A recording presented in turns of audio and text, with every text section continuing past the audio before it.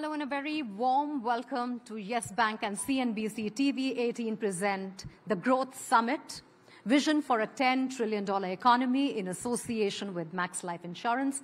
I'm your host Mugdha Kalra and it's a delight to see all of you here. India's economic journey has been extraordinary, propelling us towards the $10 trillion economy mark by 2030 as we march towards this milestone, it is very crucial to recognize the drivers, uh, contributors from MSMEs and large enterprises to advisories and startups, each playing a very important role in our economic resilience and growth. Now, this growing economic prowess has been fueled by multiple factors, particularly good governance, diversity, sustainability, digitech, innovation, manufacturing, employment generation, and an overall focus on a growth that is holistic and also inclusive. Now, the Hyderabad chapter of the Growth Summit is not just a reflection on these efforts, but it is also a platform to amplify the strategies and perspectives that can escalate India's journey to becoming an even stronger economy. Now, this summit is a conglomerate of uh, policymakers, corporates, leaders, tech visionaries, entrepreneurs, and innovators, whom we are seeing here sitting in the audience. And we are all here to discuss and deliberate upon India's rise as an economic powerhouse. Now, one of the strongest pillars for achieving India's economic prowess has been the banking sector. And India's banking sector has accelerated the nation's economic growth through its robust structure and persistent performance. Amidst this, of course, stands Yes Bank, one of the leading private sector banks that not only endorses India's economic vision, but is also set to catalyze the process through its products, offering, and its commitment to a technology driven approach with customer centricity. To further deliberate on the bank's vision, we have with us a visionary leader with over 35 years of experience in the banking sector. Please join me in welcoming the turnaround specialist and the chief architect of Yes Bank of today, Mr. Prashant Kumar, MD and CEO, Yes Bank, for his opening address.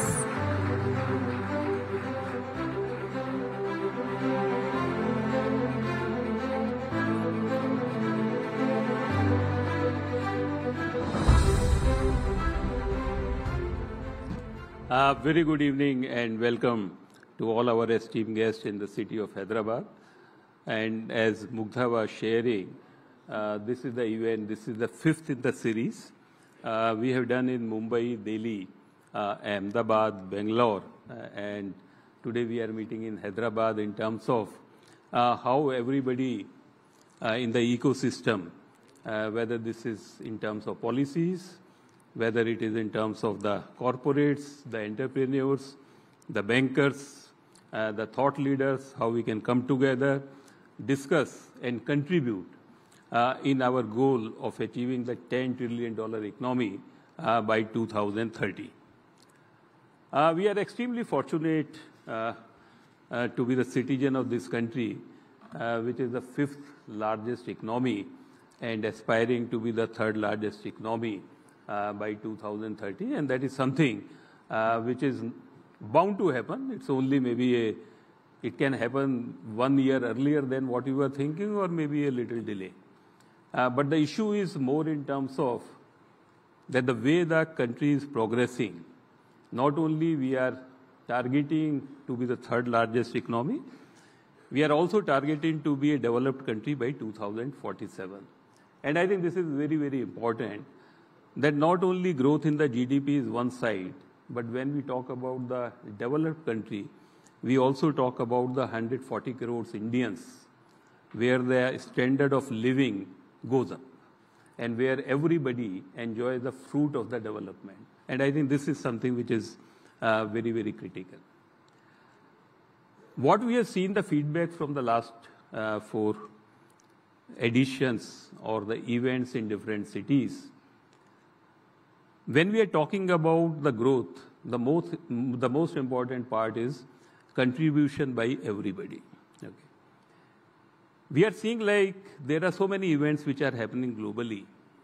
uh, where we don't have much control. Uh, whether we talk about recession in some of the economies after the COVID, uh, whether we talk about the Ukraine war, whether we talk about some more events on the geopolitical side, what happening in China, but definitely those things are uh, absolutely not under our control. So I think it's very, very important uh, how we can protect Indian economy from any impact of the global impact.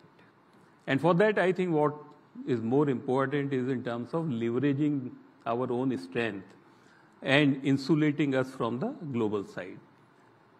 One of the most important requirement of our country for a very, very long time was in terms of having the right kind of infrastructure. And I think what we have seen in the last couple of years, a massive amount of infrastructure investment from government of India, uh, whether we talk about the railways, whether we talk about the airports, whether we talk about the roads infrastructure, the digital infrastructure, everywhere there is a huge investment and we are seeing the results out of those investment. Along with the huge investment on the infrastructure side, I think we are also seeking in terms of how we can make it a very large manufacturing hub. Not only a large manufacturing hub, but also in terms of a global export hub. And we have seen in terms of uh, huge investment uh, for manufacturing, we are seeing the PLI schemes for different sectors coming from Government of India. And very recently, uh, we have started investing even in the semiconductors. So we are expecting like in next three, four years, even the semiconductors would start manufacturing in India and we can be exporting hub for the rest of the world. Now, when we are talking about the investment, when we are talking about the making our country as a manufacturing hub, we also see in terms of what is going to happen over a period of time. The estimate is that by 2031, 69% of our population would be the working class. It means that age group is very, very important. And when 69% of the population would be in the working class, you need to give them the support. Not only you need to give them the support in terms of job opportunities, we need to talk about their housing need, we need to talk about their consumption needs.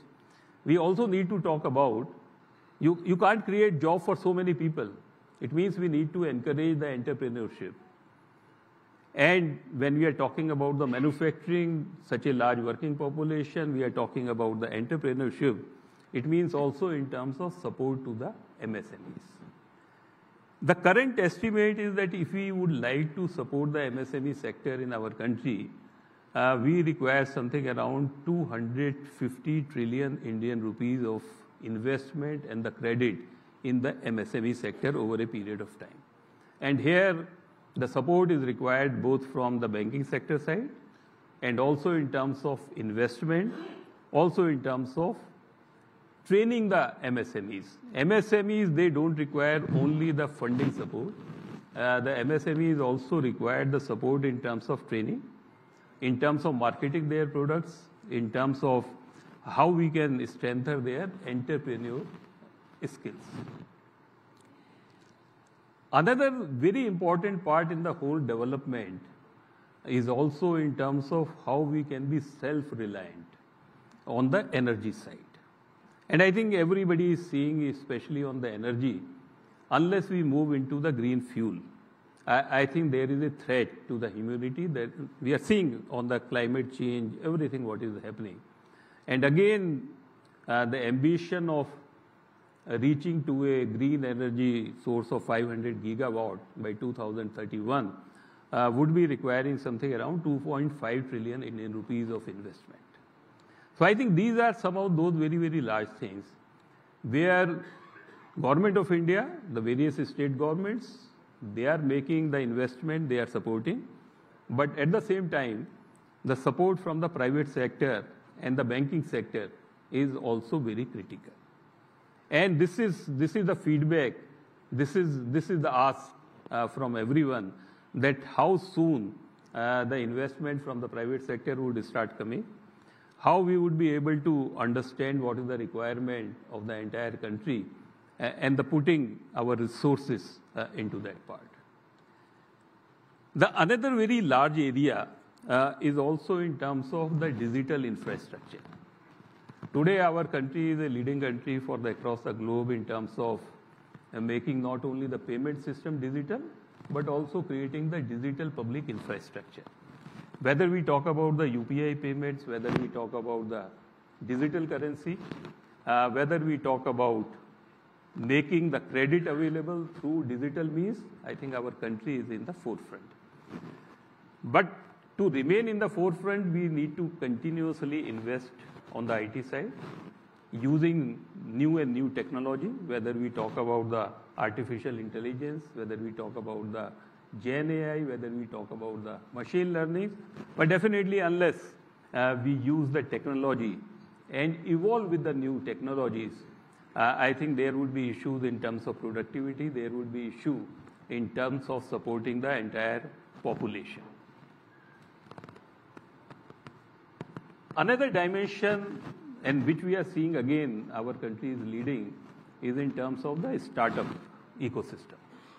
Now, startup ecosystem is not only critical in terms of bringing the innovation, but also in terms of creating the entrepreneurial skills, transforming the businesses, and also creating the jobs.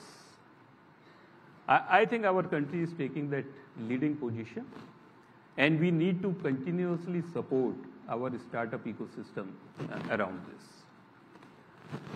We have seen in the past when we started opening the Jandhan account, and we were thinking like opening the Jandhan account may be one of the other welfare measures.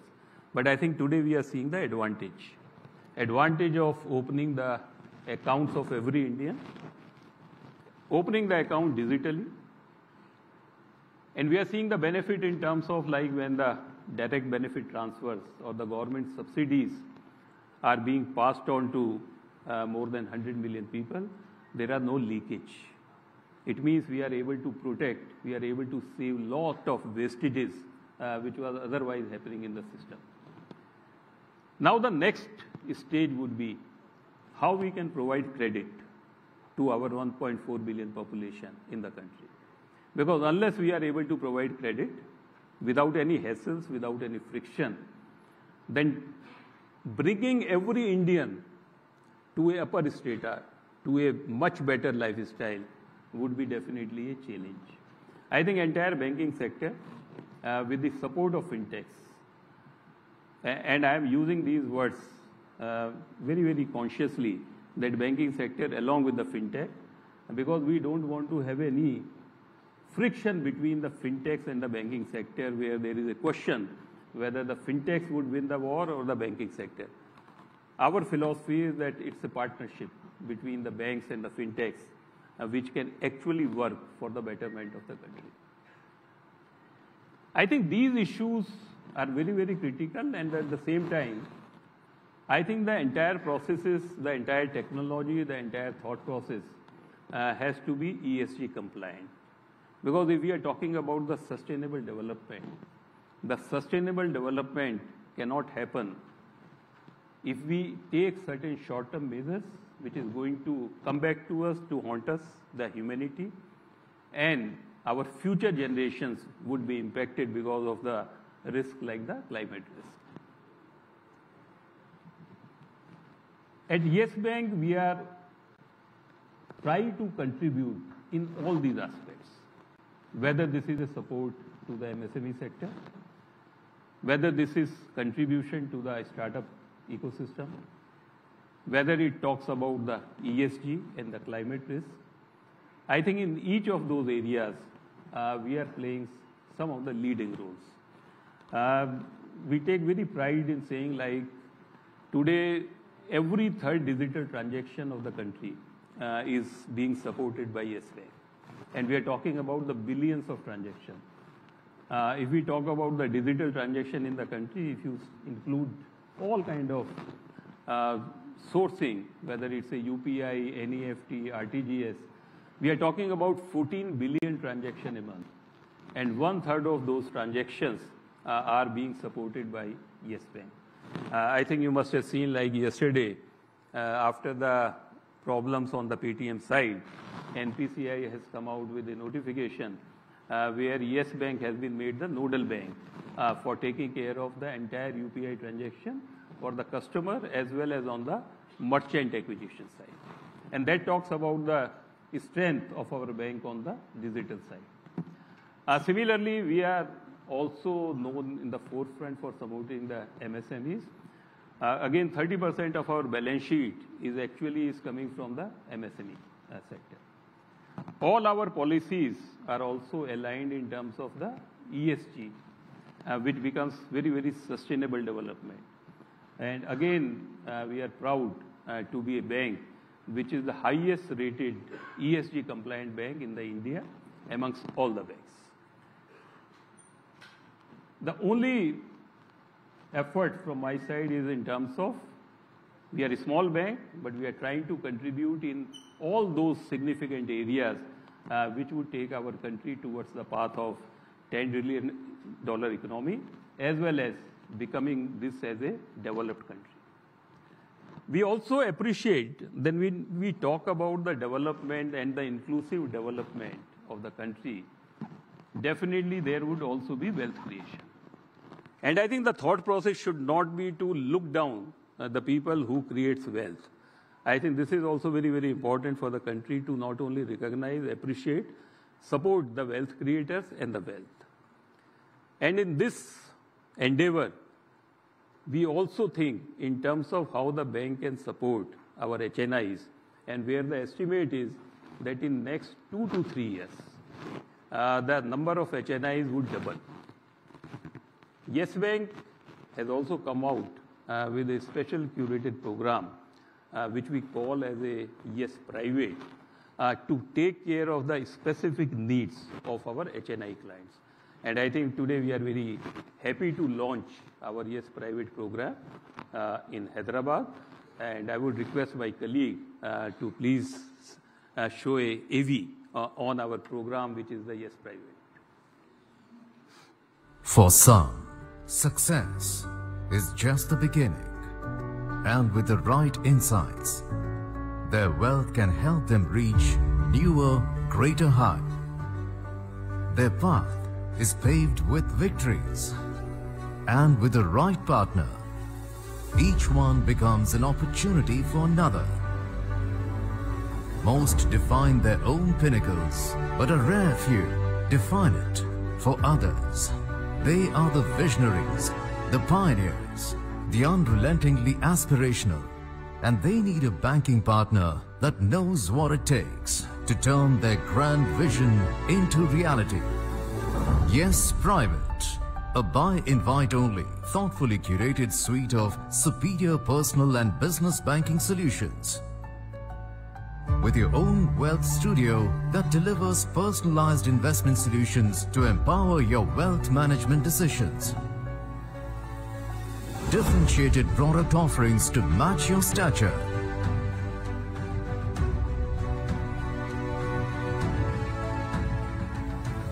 Exclusive lifestyle privileges. Along with a best-in-class enterprise banking program and solutions to ensure that your legacy lasts forever. And to bring it all together, a dedicated team which helps you optimize your strategy by harmonizing all our product offerings. Yes Private.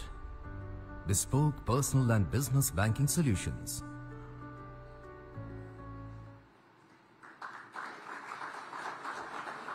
Uh, thank you so much again for uh, coming and sparing your time for attending this event. Uh, we have lined up some very, very interesting conversation with the leaders from the policy side, leaders from our corporates, the leaders from the SME, and look forward for a very, very exciting evening. Thank you so much.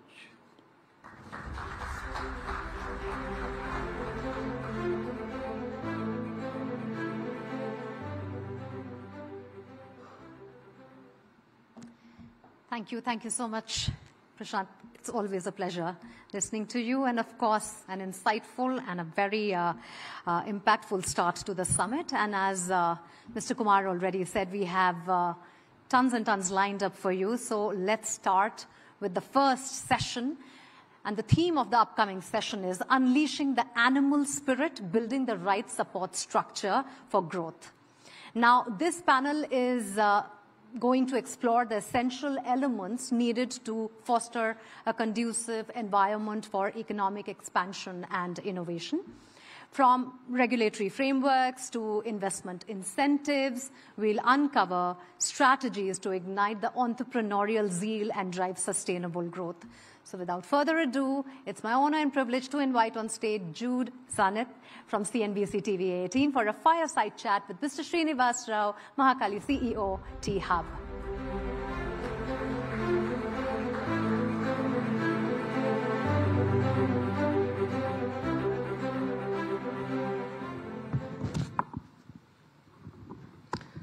Good evening, ladies and gentlemen. You know, every time we talk about essentially India's growth story, I think one conclusion that we've all arrived at is that it is by now a foregone conclusion. India is well and truly on the path to growth. And as a very dear friend of mine described it to me merely a couple of weeks ago in this very city, it's pretty much reminiscent of what the US was like in the 80s. On the cusp of growth, not quite there yet, but almost at it. However, there was one element of it all that we, we discussed would play a crucial part in this growth, and that is this animal spirit, this mythical spirit that everyone keeps talking about. How do we get there? With me is someone who is pretty much the doyen of Telangana and Hyderabad's startup ecosystem.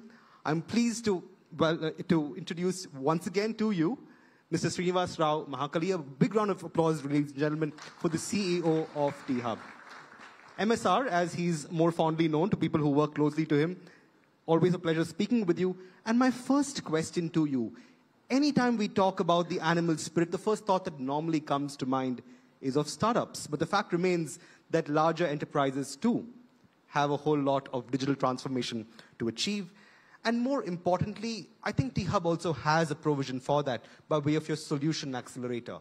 MSR, let me start by asking you to tell me how that helps. And more importantly, what kind of a difference does this external support make uh, in helping large corporates make that paradigm shift? First of all, Jude, it's always pleasure to talk to you, and uh, thank you for having me here. So let me just step back a bit, and before I get to your question, right? So when you think of any large entrepreneurial ecosystem, right, and obviously the one most of us would kind of think about is what got built in Silicon Valley to start with, right? Uh, close to about 60 years ago, first the first semiconductor companies, you know, companies like Fairchild, Intel, TI, etc., right, got together, and it was a combination of government, industry, mm-hmm. academia getting together and building, right? So when you think about an entrepreneurial ecosystem, and I'm also very inspired by a professor from Babson, a gentleman called uh, Dan Isenberg, so who's built, you know, and studied entrepreneurial ecosystems across the world. So he talks about, you know, what makes for a good entrepreneurial ecosystem. Mm-hmm. So obviously startups are at the front and center of everything. Second is obviously large companies. Mm-hmm. Okay, so large companies essentially in, in terms of collaborating with startups and building open innovation ecosystems, which I'll talk about at a little length once I get to the other components right. of the ecosystem. So we have startups, we have large companies, we have obviously government and government policy, uh, we have funding, mm-hmm. right, be it debt, equity, or other forms of uh, you know, financing growth. Uh, we need to have academia involved. We need to have policy, uh, I mean, uh, the media involved, right? So this is what makes for an uh, really world-class entrepreneurial ecosystem, which is what we are trying to build here. Right. Right. So when you think about corporates and startups, so when you think about corporates today, you know many of our companies have scaled. Uh, I, am happy to see Satish Reddy Garu here. They built a world-class uh, pharma company from here, and I'm sure there are many other world-class companies Absolutely. among the audience here. So they have essentially leveraged research, and then built mm-hmm. and so on.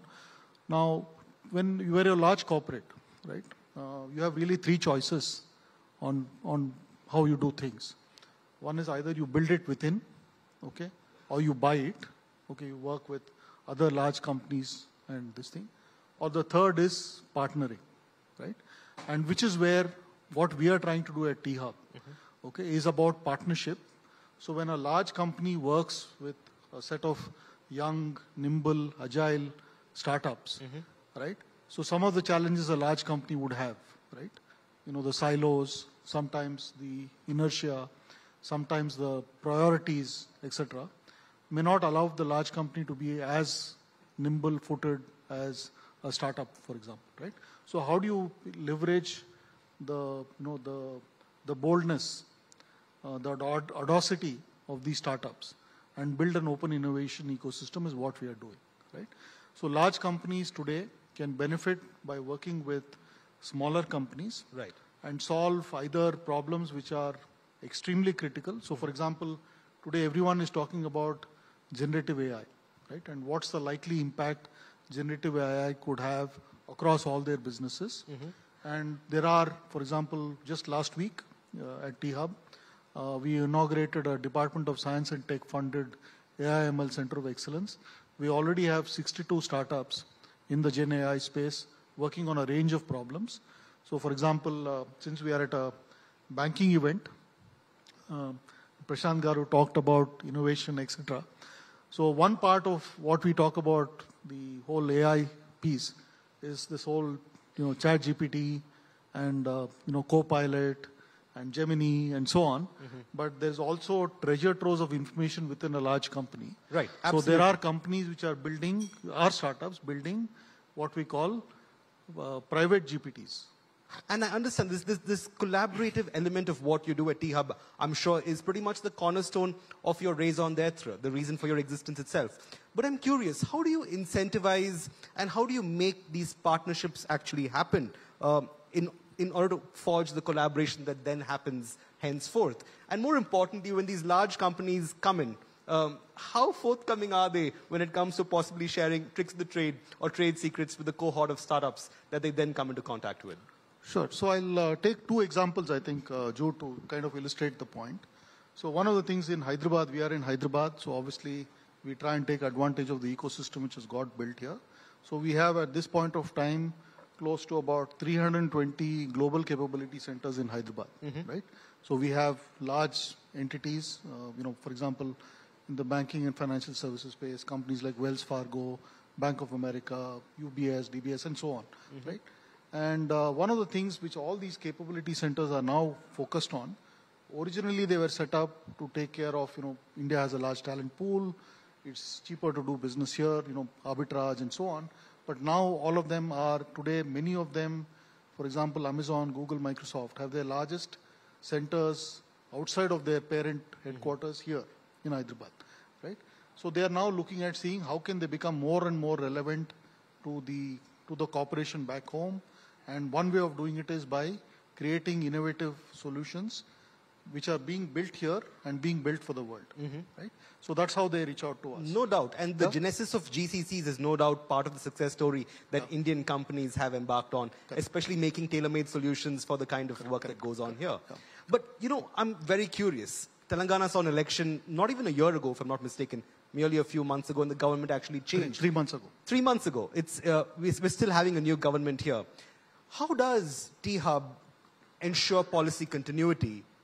Uh, the politics of change all around it, notwithstanding, because it goes without saying that any digital transformation, any framework for this will require some element of continuity on the policy front, despite changing politics. How do you do it? So sure. First of all, I think uh, you know we are in Hyderabad, and you know what I'm going to say will resonate with many. So I think one of the things which we've seen, right? So if you think about, if you look at uh, what happened in Hyderabad, right? The first seeds of IT were sown back in the early 90s. So we have this iconic building in High Tech City, which was the first building, and then the first large company which came to Hyderabad from outside was Microsoft, right? And I think our policymakers, despite you know changes of government, we've had three or four changes of government, three or four changes of parties. All of them, I think, recognize that we'll grow better by standing on the shoulders of others, mm-hmm. right?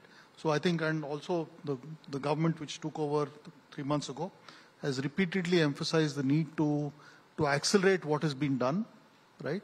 Uh, keep doing, building on the good work, the foundation which has been laid, and scale it to the next level by doing things faster, right? So I think uh, so far every indication is there will be continuity of policy, and also remember, particularly from an IT standpoint, right? Uh, in Telangana, in Hyderabad, uh, obviously IT and real estate are very closely linked, and uh, given all the infrastructure which you see, uh, there's no reason for any disruption to be, you know, to be thought of. And that can only come as good news to the cohort of startups that not only come under your wing, but, the but, but many that are upcoming, especially for you know, the machine learning and AI tech lab that you've just uh, launched a week ago. You know, but I'm just curious, MSR. The fact remains, and I'm sure many would agree with me here, the role of innovation, no doubt, is to make lives better. You know, but when it comes to actually going about selecting startups or selecting ideas for innovation, irrespective of whether they, they're born from a startup or a large enterprise, what are the metrics that you at T-Hub apply to that process and that decision? Um, is it more of commercial viability at this time and place, or do you lean more towards it's a great idea, its time may not have come yet, but there's a lot more exploration to go, even though commercial viability isn't exactly a given in the near term. Which way do you sway while making that decision to pick one for collaboration? So, collaboration? Jude, you want a long answer or a short answer? Give me a short one because I'm sure we have many more talking So points talk to discuss. about this, right? So again, when you think about think about how, how to look at this. So for our focus at T Hub and what most of us we are now 70 plus incubators Mm-hmm. in uh, in Hyderabad is obviously we work with companies from stage zero to a pre-series A funding round Yes. is what we typically focus at. Plenty of early That- stage startups. Yeah, early stage, very early stage Right. startups. And again, now, increasingly, now we have about 120,000 startups in India. Mm-hmm. We have 7,500 startups in Telangana, right? And now you'll hear people talk about this thing called deep tech startups. Mm-hmm. There are approximately around seven to 8,000 deep tech startups type of thing. So now, if you look at what that means. So at a very early stage, uh, what we look for is, first of all, what is the problem they're trying to solve? Okay? And is that a problem? If they solve that problem, can they build a truly scaled business? Right? Will the, if they solve that problem, will it impact a large number of businesses? And will it also potentially impact a large number of people? One. Second is, what is the solution they've thought of? Right? Uh, is it a, you know, first of all, if it is a Me Too solution, that, you know, Me Too problem, for example, ride hailing is an example, right? So today, I mean, I can tell you uh, that there are about a six or seven companies now which are wanting to get into the ride hailing business here in Hyderabad. So unless they can come out with a really differentiated value proposition, right, uh, which benefits all stakeholders concerned, they are unlikely to be successful. Right. So what is the problem? What is the solution? Uh, the quality of the founding team, Mm-hmm. right, which is in terms of why do we think or why do they think they'll be the guys who can really build a you know scalable business mm-hmm. is what we look for. Mm-hmm. And last but not least if there's any evidence of some traction right? If there's let's say even a couple of customers who've actually paid put money where their mouth is and actually given them some work Right, for a, in a commercial transaction that's validation. Right. right? So typically at a very early stage, it's really the problem they are solving. Mm-hmm. Is it a large addressable market if they solve it? Mm-hmm. Third is what is the solution they've tried to build, mm-hmm. right? How differentiated is the solution likely to be? And do, do, do does everyone around the table, them and us, think that that team has the you know gumption and the guts to pull this off? Okay, all right. So, of course, commercial viability is important, but it isn't, nobody's in a hurry to get there, at least in the No, you can you can put a run up a set of numbers on Excel, right. but you know when the rubber hits the road, you'll know whether Right. they'll be able to. You know, another thing that really strikes me about T-Hub is the fact that at its front and center when it comes to the PPP board is, of course, academia. And given the fact that you've constructed and curated the processes, uh, you know, around institutes like um, IIT, NALSAR, and ISB, it reminds me very much about what happened in Silicon Valley a few years ago, uh, where much of the infrastructure and, you know, partnerships there were built around mm, Stanford, the University of Berkeley. Um, how, what kind of incentive do you propose or do you have to kind of take academic partnership to the next level, really, as far as T-Hub is concerned, and actually go about incentivizing it uh, for more of this to happen at T-Hub itself?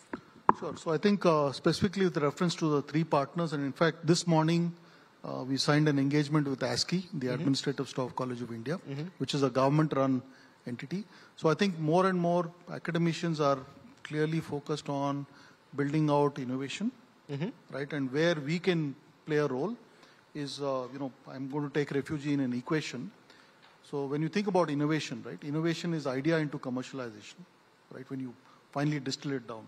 So what we are trying to see is how some of the ideas which are getting, you know, you, you know, incubated in some of these centers of learning, how can they be commercialized? Right. And what can we do, you know, collectively working together? So it works two ways, right? So for example, for many of our startups in deep tech, so for example, we have a bunch of startups in the mobility space, right? So for example, in Triple IT, there is uh, an autonom- uh, autonomous, uh, you know, Uh, something called TiHAN, which Right. is the Center for Autonomous Viability. Mm-hmm. Our startups benefit hugely mm-hmm. from access to their labs, mm-hmm. from access to their subject matter experts, and just the ability to bounce off ideas, All right. right? So So very interesting. But you know, MSR, I can't let you go without asking you one last question. 1.9 billion dollars in funding is what you've secured in the last eight years of your existence at T-Hub. 1.9 billion more, you told me just last week, uh, in the next five years is what you're targeting. What lessons do you think India can take in terms of the T-Hub template itself in the country's march to a $10 trillion economy by 2030?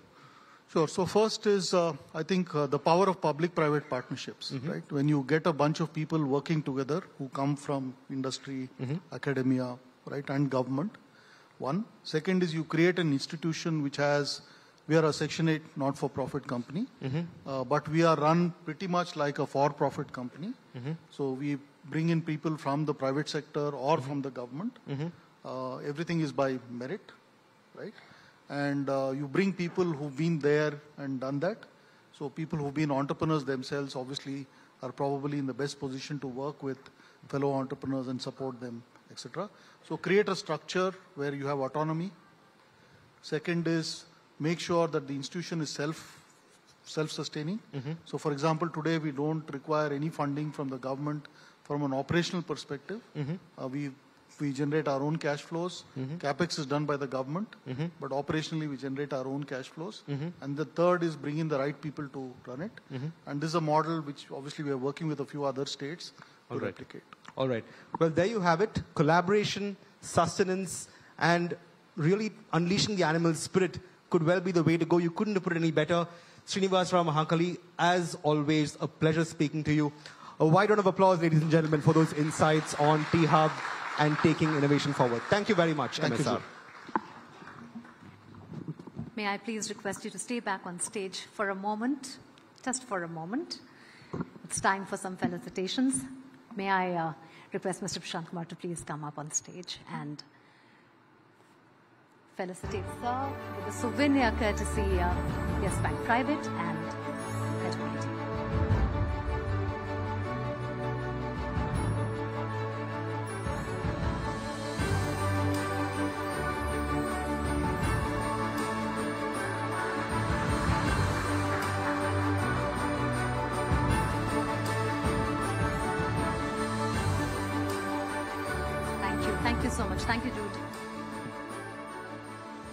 Right, ladies and gentlemen. Well, we're talking about the dynamic landscape of global economics, and of course, India's growth stands as a show of resilience, uh, innovation, and strategic vision. Now, what are we going to do in the next session? We will delve deep into the heart of innovation as we unravel the strategies, technologies, and collaborative efforts.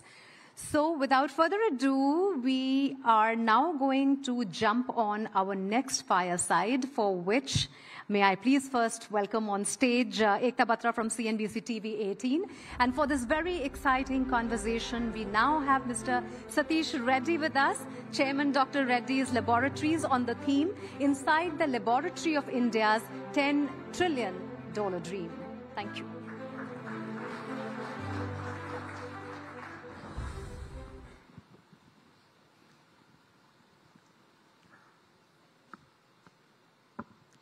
Good evening, good evening, everybody. Uh, everybody, nobody needs, uh, you know, an introduction for Mr. Reddy of Dr. Reddy's, but I just want to give a sense in terms of what we are discussing today.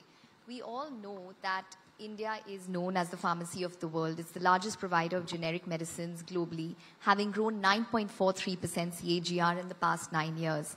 India is responsible for 20% of the global supply of drugs, contributes to 60% of the global vaccines in the, in the world. The country has the highest number of US FDA approved plants outside of the US. The current size of the pharma industry is $50 billion with an equal contribution from both exports as well as the domestic market. The aim of the pharma industry, which contributes to around 2% of India's GDP and 8% of exports, is to grow to 65 billion by 2024 and 130 billion by 2030 to a further 500 billion by 2047. So how does the Indian pharma industry grow to this size and contribute successfully to India's vision of becoming a $10 trillion economy? Mr. Reddy, thank you very much for joining in. Well, we've spoken about these targets before, $130 billion in terms of getting there. How do you think we'll get there? And what is innovation, how big a role is innovation going to play to get to that mark? Sure. Thank you, Ekta, and uh, thank you to CNBC as well as Yes Bank for inviting me to this uh, growth summit.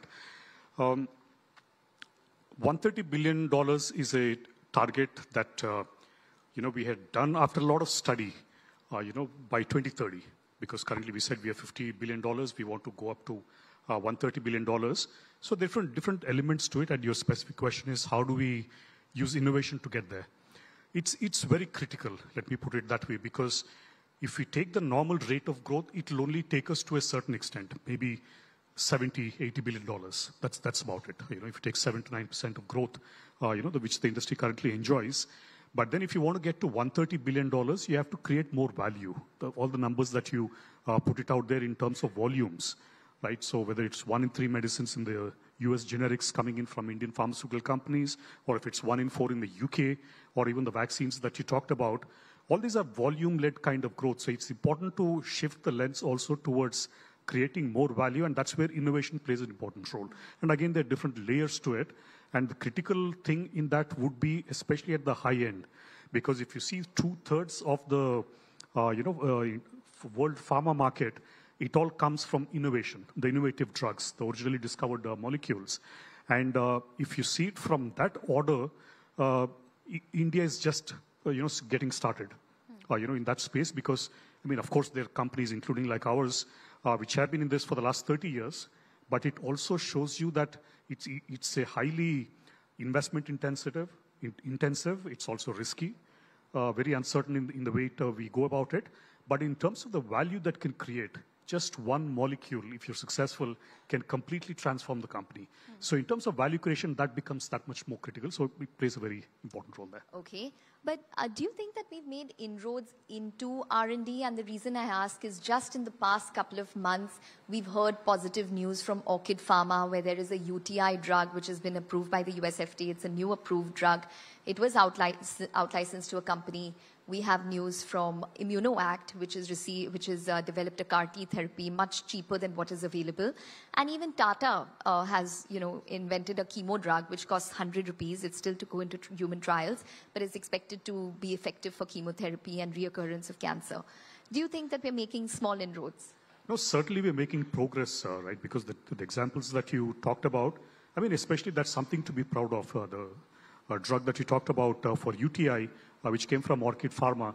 So this, this was something in the works for a very long time, but you know, they licensed it out, and then uh, the clinical trials that were done, it got the US FDA approval, right? So it, has gone through the hoops in terms of what can be done, and it will be in the market. So Laurus Labs, again, uh, sorry, uh, the ImmunoAct is, is, an example that you uh, took. It, it's, it's, something really commendable, uh, you know, because it, it, it, it was an incubated uh, firm from the IIT.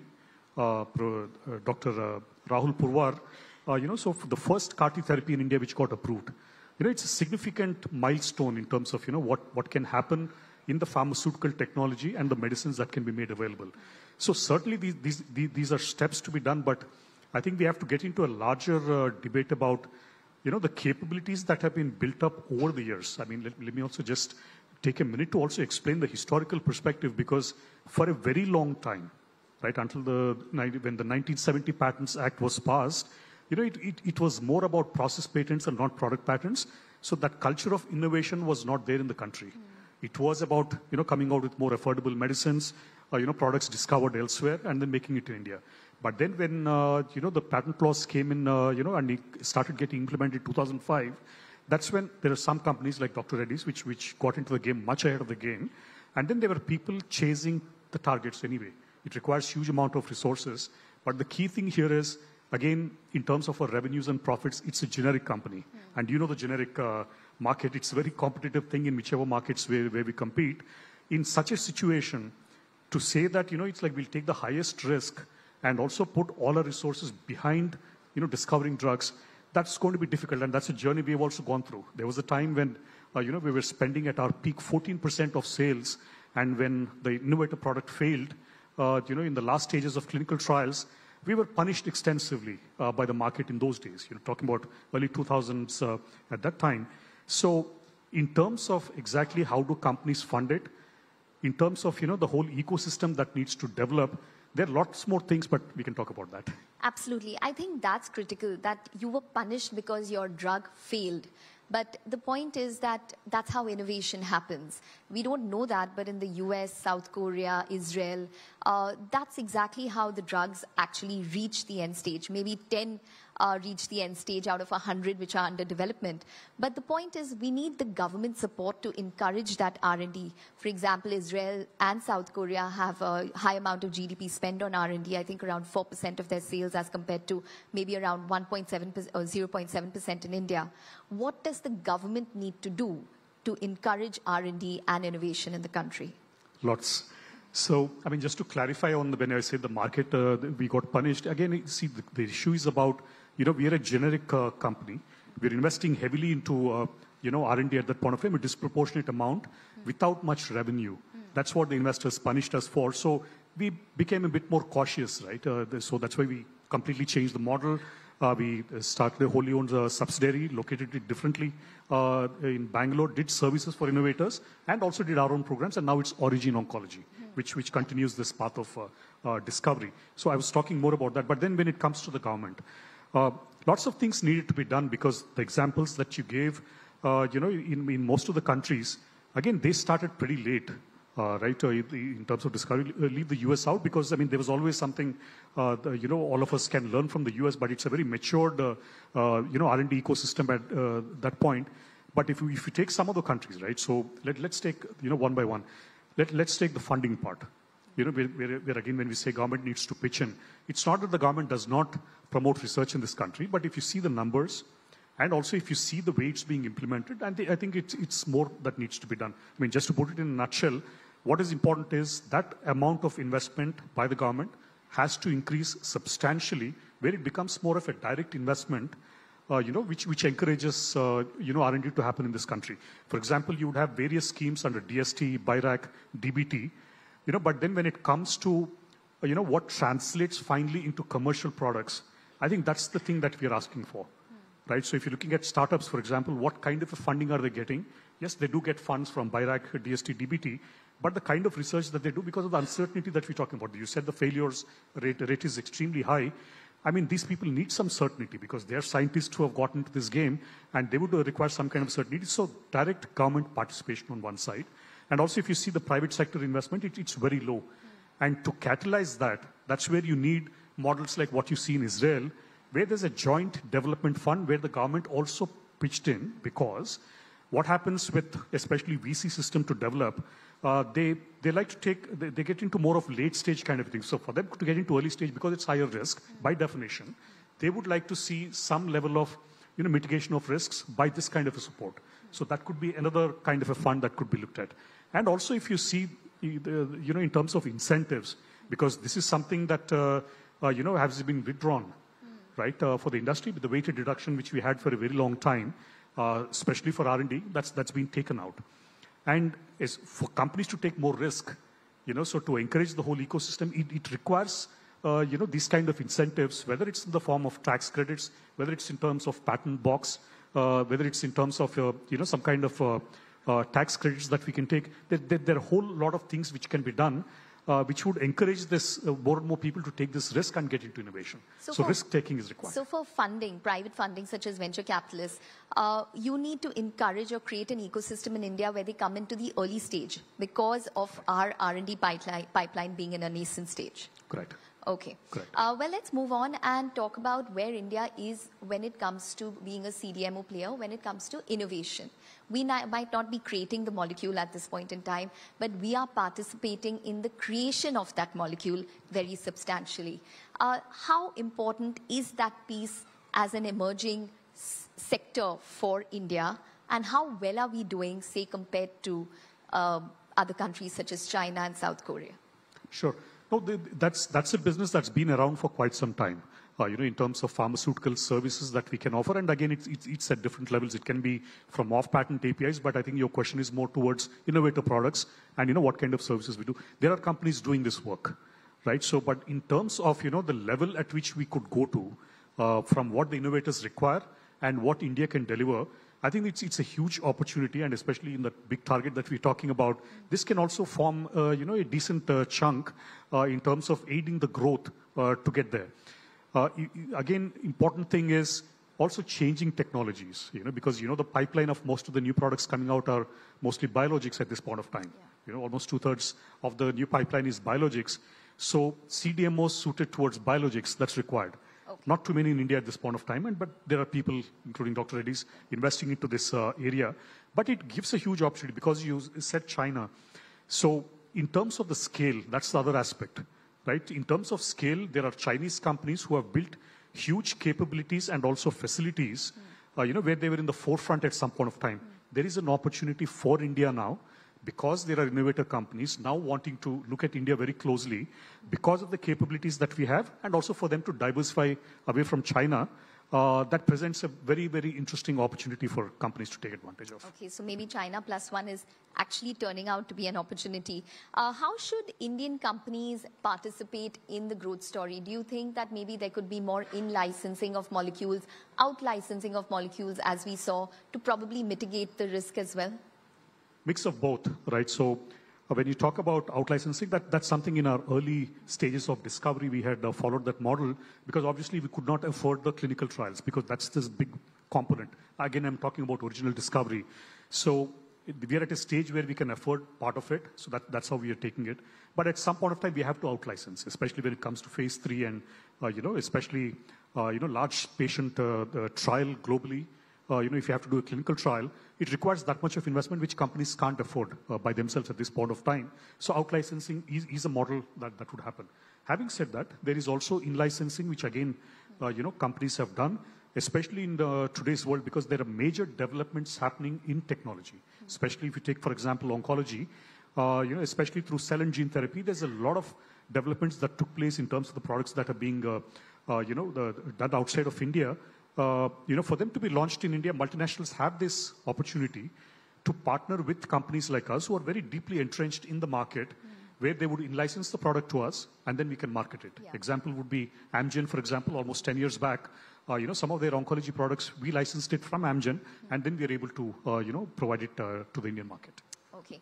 What about innovating for India? Because we have so many tropical diseases. We have dengue, chikungunya, leprosy, elephantitis, and there are no, uh, you know, solutions for those. Should Indian companies concentrate more on India-specific diseases, or is there no money in it? I mean, the commercial part is, is one aspect. I mean, I wouldn't say, talk about the money part of it because these are really, you know, I would classify them more as public health issues. Uh, you know, the, the kind of diseases that you t- talked about specific to India.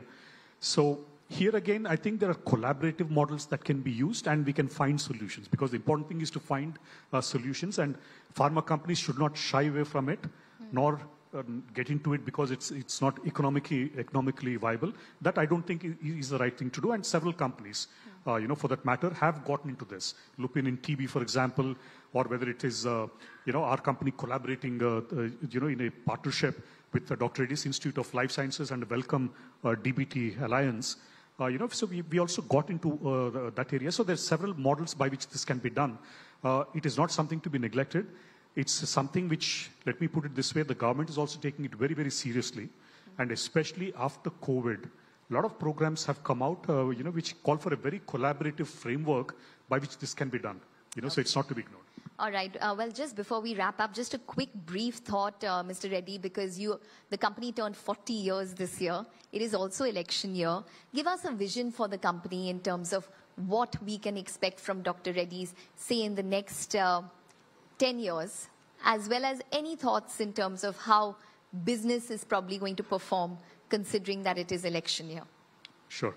So I think as far as the company is concerned, like you said, it's, it's a big milestone, four decades of the company. We were incorporated in uh, uh, February, so last month we turned 40. It, it, it's, a, it's been a fascinating journey, right? It's not uh, that, you know, it's like everything was a success. We had our ups and downs.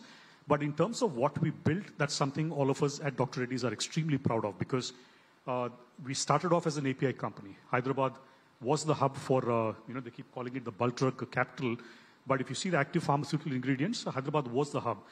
Having started in that journey and then gotten into, you know, finished dosage formulations for India, invested into drug discovery very early in the life cycle. Uh, once liberalization started to also get into emerging markets, starting with Russia in those days, you know, and all these things were not easy. But, but in terms of, you know, our early success, because we were the first to do it in several things, whether, it was launching products for the first time in the country in finished dosage uh, in India, while it, the uh, Patent uh, Act was still about process patent. A lot of products from me, a lot of products launched for the first time uh, from Dr. Reddy's. When it came to discovery, to get into original discovery as early as 1992, it was one of the first private sector companies to have done that. To be listed on the New York Stock Exchange, we continue to be, and uh, you know, outside of uh, uh, Japan, the only Asia Pacific uh, company to be uh, listed on NYSE continues to be Dr. Reddy's. And lots of other things. I won't go, go, through all those successes, but we've also had our fair share of failures. I talked about our uh, failure in discovery in a very prolific area at that point of time. You know, and the, because we had licensed molecules to uh, Novo Nordisk and uh, Novartis at the time, that failure was a disappointment, but we moved on. And then I talked about Aurigene Oncology. So it's, it's been a fascinating journey in terms of where we are heading to there's several things to come up because we, the, the, theme was about innovation. That's, that's a big thing in Dr. Reddy's, yes. right? So whether it is, uh, you know, new products that we in-license, the, the, discovery part of it, or uh, if it's, uh, you know, also to do with, uh, you know, differentiated formulations, for example, to take it to emerging markets and also to regulated markets, there's a huge lot of work to be done. A lot of adjacencies, nutraceuticals, for example, uh, OTC as, as a segment, there are plenty of things to be done, and the action is still unfolding. Okay, all right, uh, Mr. Reddy, thank you very much for joining in and giving us your thoughts on innovation, especially in the pharmaceutical space. It's a pleasure. Thank, thank you very you. much. Thank you very much.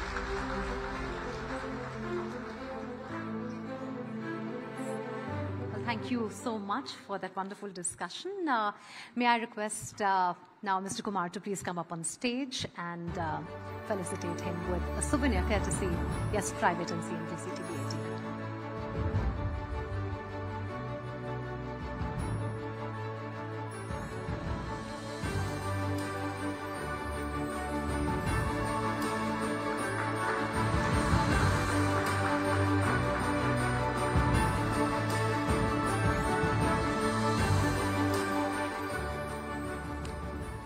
ladies and gentlemen, in an era where dynamic shifts in the global landscape are redefining economic powerhouses, India is drawing the attention of investors and visionaries alike.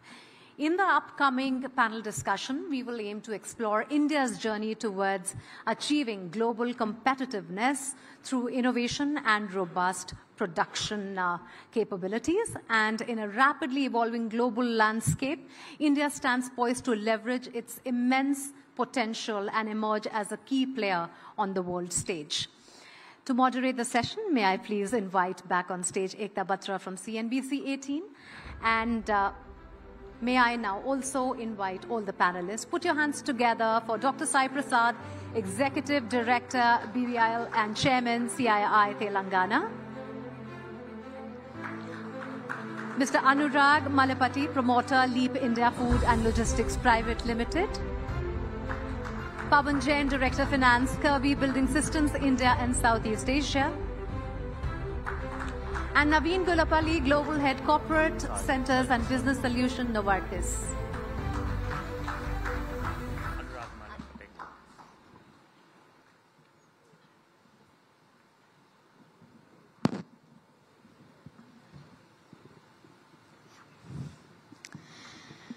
Well, Steve Jobs famously remarked that innovation is the hallmark of leadership, setting apart leaders from followers. Today, we find ourselves in Hyderabad, a burgeoning hub for industries ranging from IT to pharmaceuticals and a nurturing ground for startups. Hyderabad boasts numerous global capability and R&D centers for leading companies across various sectors.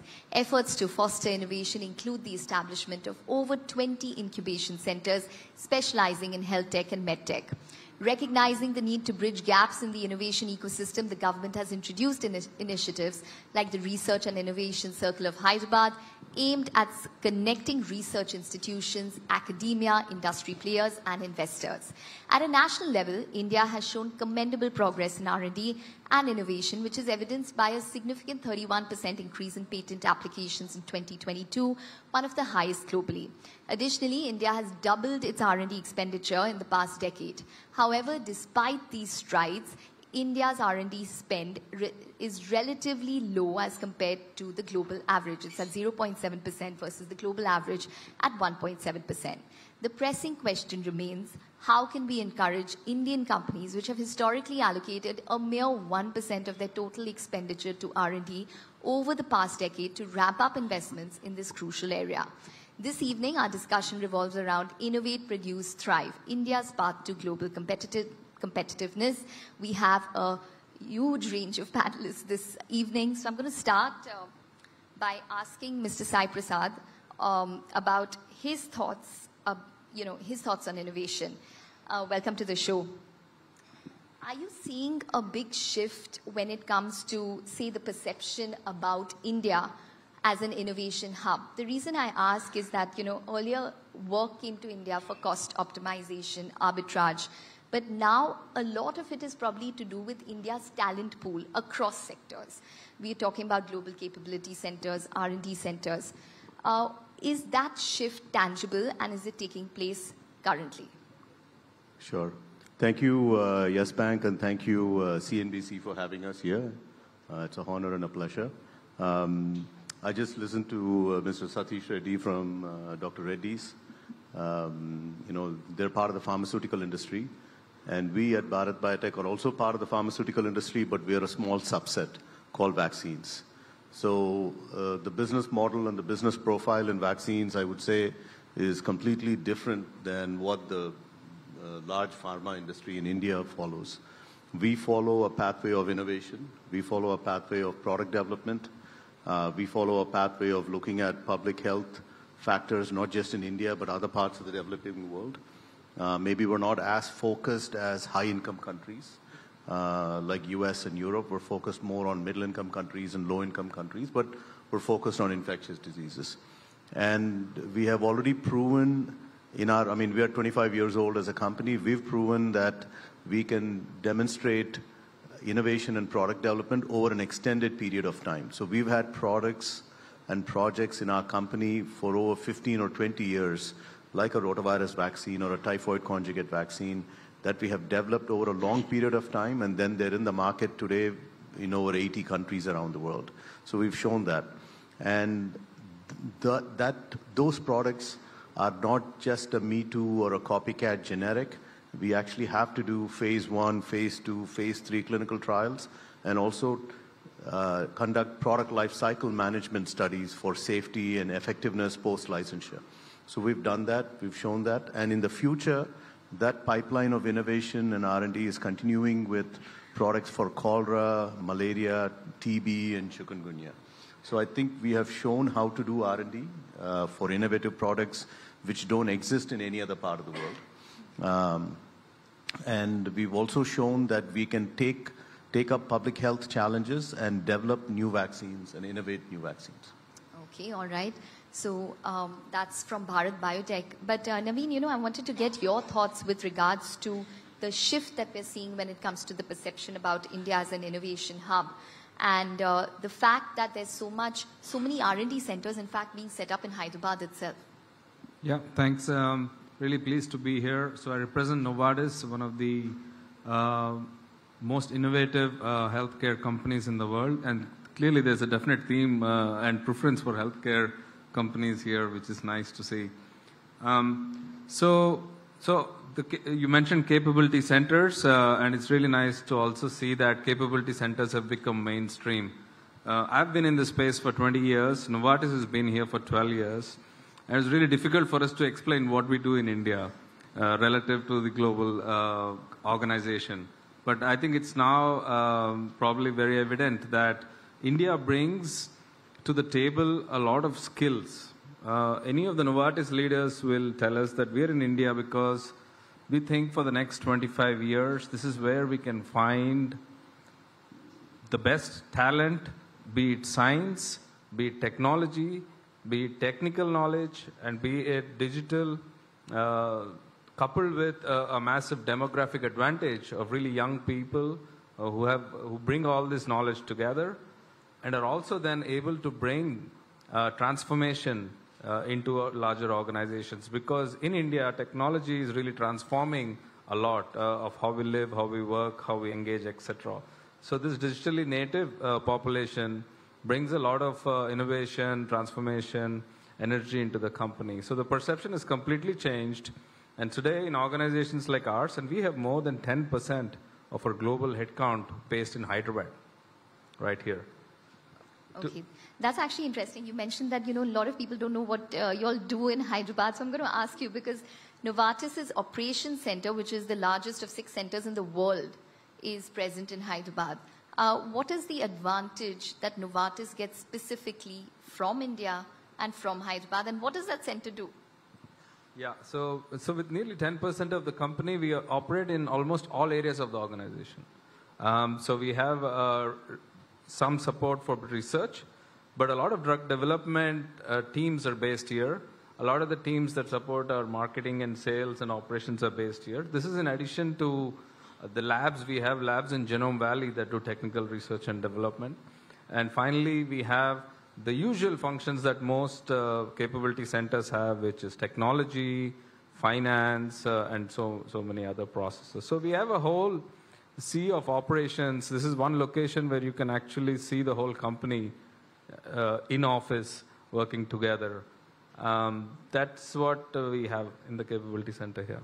Okay, well, I'm just going to ask you about an MNC's perspective in India because you have a glo- uh, you have a global center in Hyderabad, but a lot of the MNCs are actually reducing their feet on the ground in India, and Novartis is, you know, looking at its uh, strategic options as well. Uh, in that context, is India just going to be an outsourcing hub? and MNCs don't actually want to distribute their drugs on the ground or make that investment in people. They want to probably cut back on that and send uh, and probably tie up with an Indian company which has more of a reach.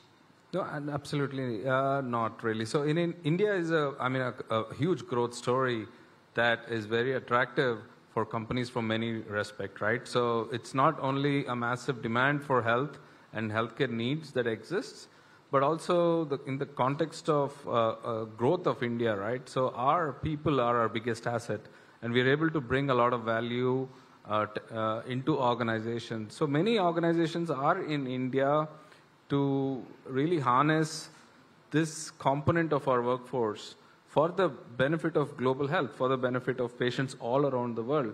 As part of this process, a lot of technology comes in, a lot of know-how comes in, which again benefits the ecosystem. So we have partnerships with educational institutions. We help shape curriculum. We bring a lot of this knowledge that will again uh, apply back and benefit uh, the uh, Indian patients and Indian healthcare system. So in all aspects, uh, I think uh, it's um, it's really uh, growth and expansion that I see ahead of us. Okay. Well, Anurag, uh, you know, your focus is agri-infrastructure, making sure that uh, India has more efficient grain storage. How is innovation being effectively used in that sector for a country such as India? Right. So, thank you, first of all. It's a pleasure to be here.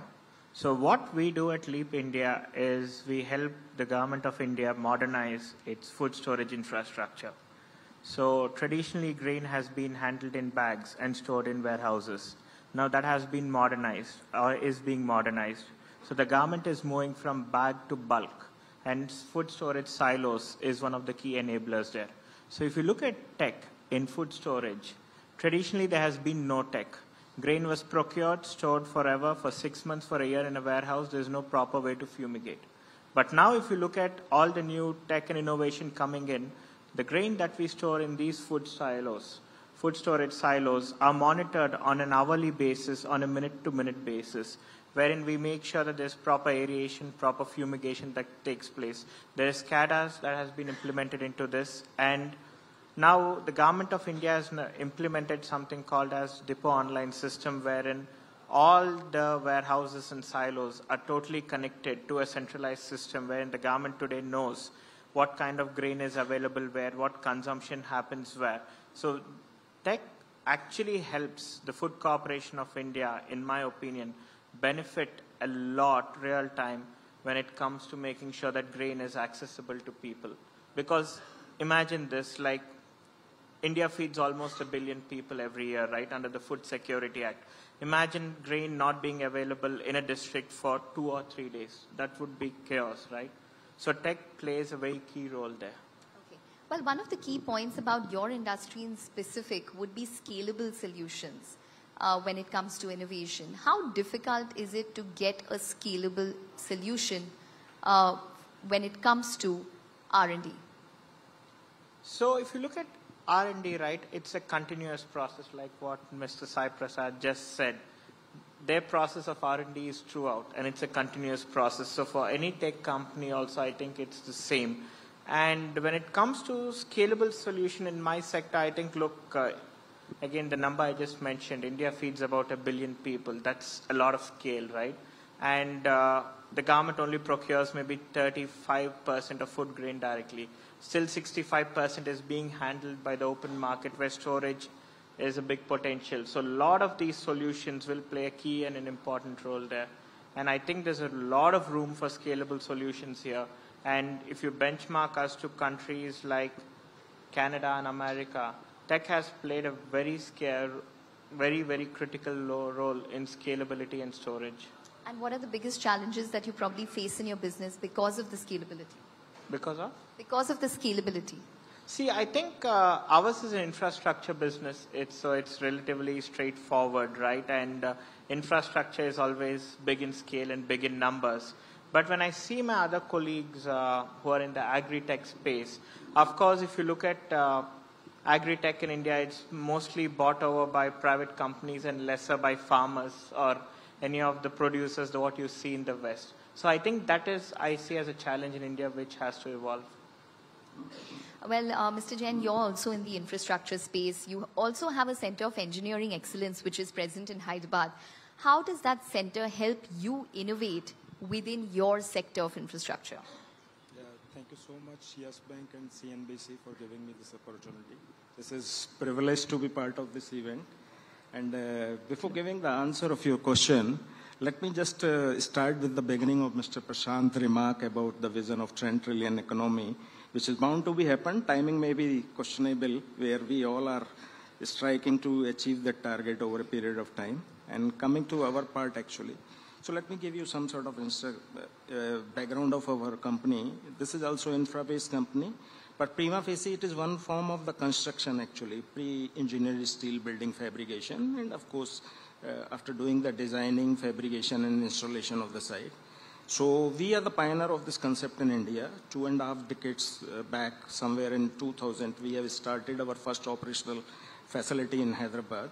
Then eventually, over a period of last 25 years, we have expanded our presence in India in different different states. Now we are operating with the three manufacturing unit in India: Gujarat, Uttarakhand, and uh, Telangana. Over and above, this is a multinational company, Middle East Kuwait-based group, and uh, altogether I can say in this particular business group level, we are from last more or less five decades. We started this business in 1975 uh, by acquisition from uh, America, uh, this company and technology. So this is really exciting things and uh, initial years when we have entered into India, I can say there was a lot of struggle to, you know, uh, to teach the people what type of technology we are using for making the construction because generally people are used to of conventional construction like brick, cement, steel and all. But now I can say if you see a lot of turnaround it is happening Eventually, a lot of player has also emerged along with us uh, in last two and a half decades. They are also doing pretty well. And India, the industry itself, it has gone more or less 2 million ton steel fabrication over a period of time. And we'll see huge potential growth, specifically last two years post-COVID. We are expecting this industry should grow 15% year-on-year basis for next five years. And uh, one more thing about Central of Excellency, we would like to see because of great talent available in India and competitiveness for entire global operation where we are operating in Middle East, India, as well as Southeast Asia. We have set up this uh, Center of Excellency here. Altogether, we have around 250 MTech engineers who are working with us and workforce-wise with all these three plants, more or less 5,000 people, blue collar and white collar, directly employ with us. So definitely I can say uh, this is one of the concepts which is now very commonly known in the industry. And uh, I mean, along with us, so many other people have also emerged, but still we are dominating our market leadership in this business. Okay. We are growing 15% year on year. How much of that is probably going into R&D? R&D, basically, this is one of the part, actually, you know, our business is composite contract, which consists of uh, engineering, fabrications, as well as erection. So the bifurcation, it is very difficult to see because it is part of the package deal of composite. But I can say engineering is one of the basic element which start from the quotation or inquiry of the particular project. And that is a very key element for starting our business. So in terms of, uh, you know, percentage of our total value, it's difficult to prescribe it, but I can say it is instrumental for getting our business. Okay. All right. Uh, well, Mr. Prasad, you know, one of the key things is that uh, Bharat Biotech has obviously been at the forefront of innovation, uh, especially during COVID, and it taught us that innovation is possible on an expedited basis. So, what can, what are the key learnings from that phase that we can take away for us to probably maybe expedite uh, R&D? And how is AI and ML probably playing a role in that as well? Uh, thank you. I think what, what is important for many of us to learn is that uh, I think most people around the world think that companies that were able to develop products during the pandemic were first-time novices that tried to do something and it became successful.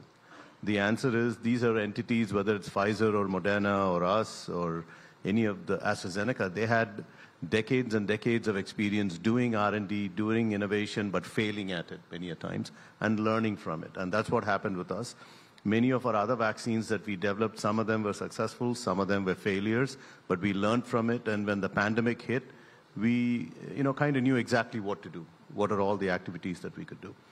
What accelerated during the pandemic? Obviously, we committed a lot more uh, funding into our own internal R&D program for Covaxin.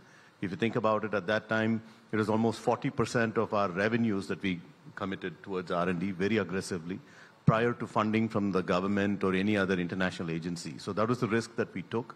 It could have gone north, it could have gone south. Uh, luckily for us, it went north.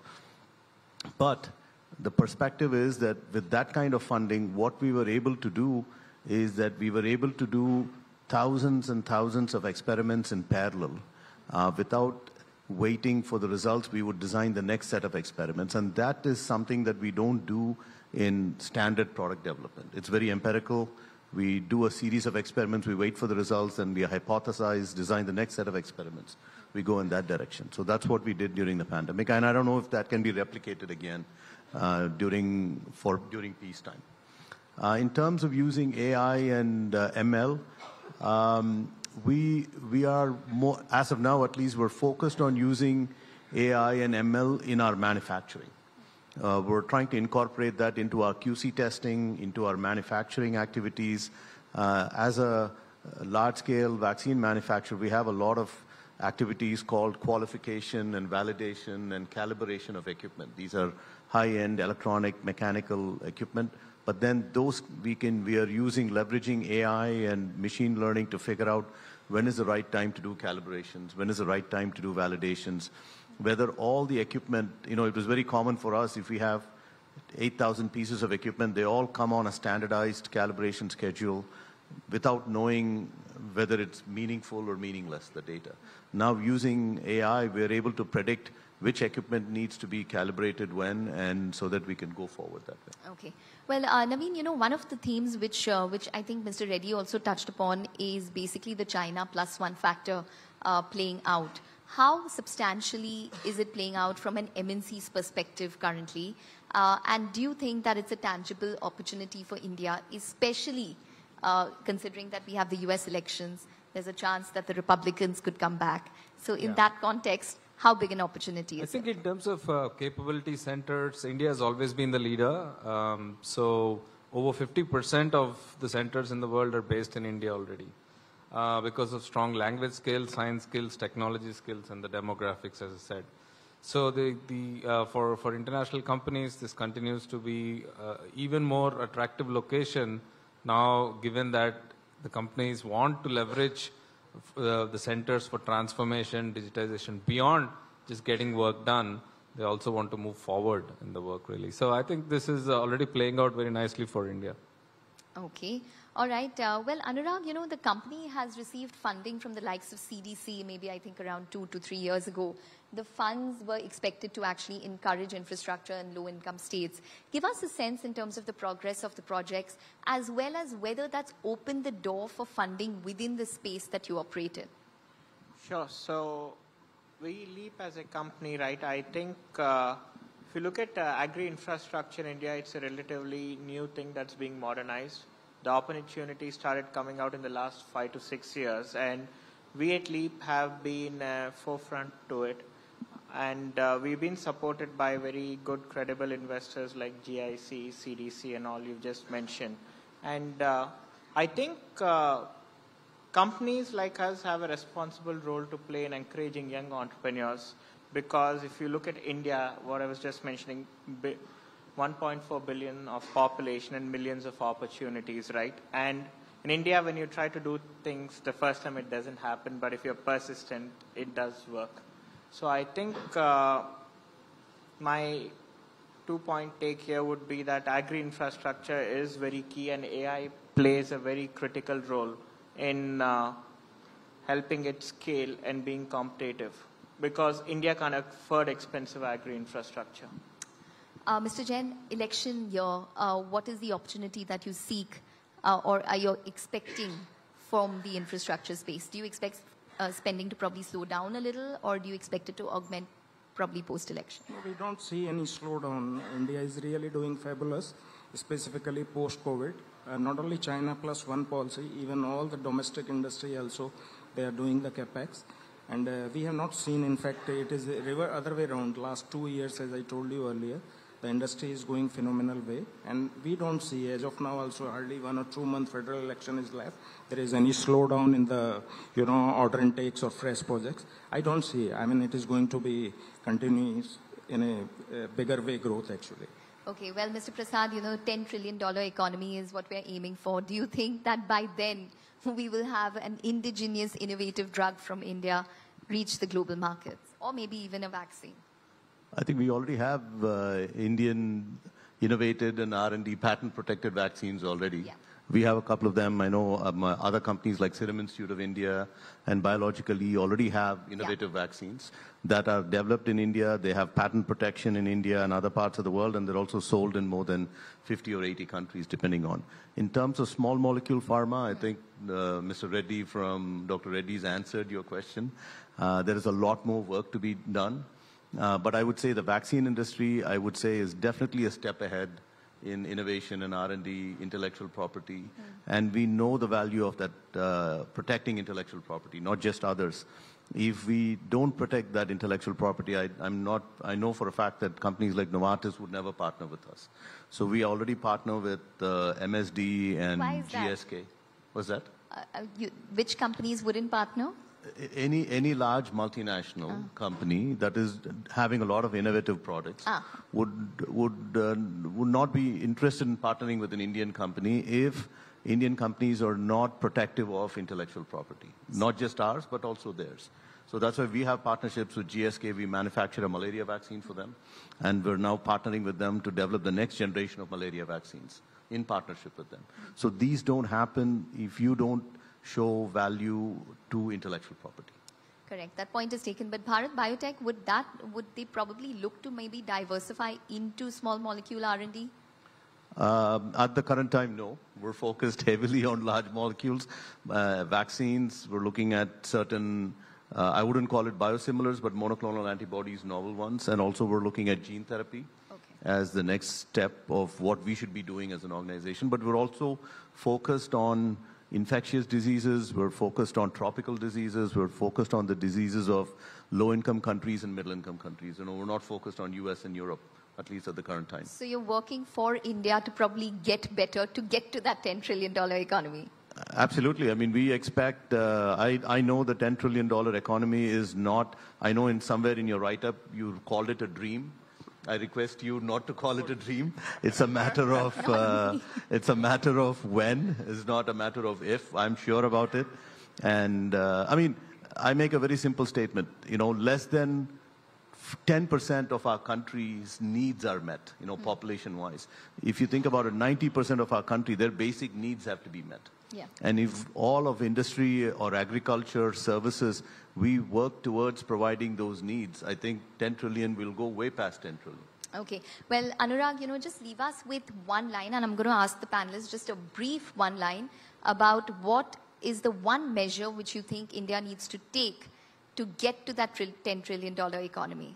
I think uh, man for uh, people are very important, and upskilling and reskilling is really important. Okay, all right. Uh, Pavan? I believe skill upgradation is very important, and we need to do a lot of things in this area. Okay, and Naveen? India needs to be science focused, needs to pivot to trusting and believing and investing in science. Okay, all right. Investing in science, reskilling and upgrading, uh, upgradation of the workforce. And lose the, fear, lose the fear of failure. Fail early, fail often, and learn from that failure. Okay. All right. Uh, well, gentlemen, thank you very much for joining in into this very innovative discussion.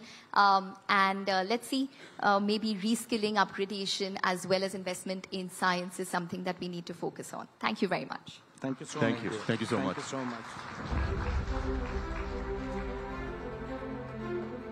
Gentlemen, may I request you to please stay back? All right, time now for a quick felicitation. May I request Mr. Manish Jain to please come up on stage for the felicitations. Manish Jain, Country Head, Wholesale Banking, Yes Bank.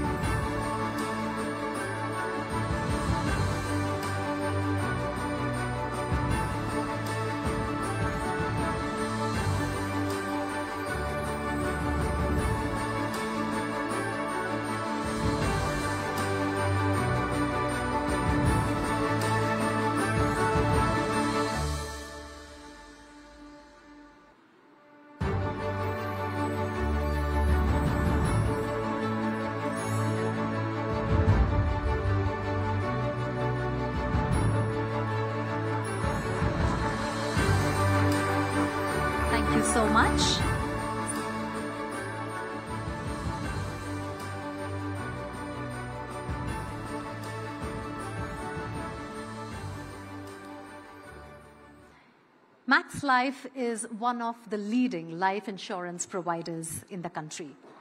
And it aims to be the most respected life insurance company in India by ensuring financial security of its customers is maintained through comprehensive protection and long term savings solutions.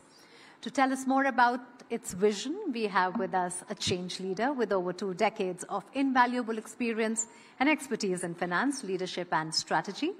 Prashant has carved a distinguished path as the managing director and chief executive officer of Max Life Insurance, a stalwart in the Indian banking and life insurance industry. He is known for his unwavering commitment to people and customer centricity. Ladies and gentlemen, please join me in welcoming on stage Prashant Tripathi, MD and CEO Max Life Insurance, for a very special address.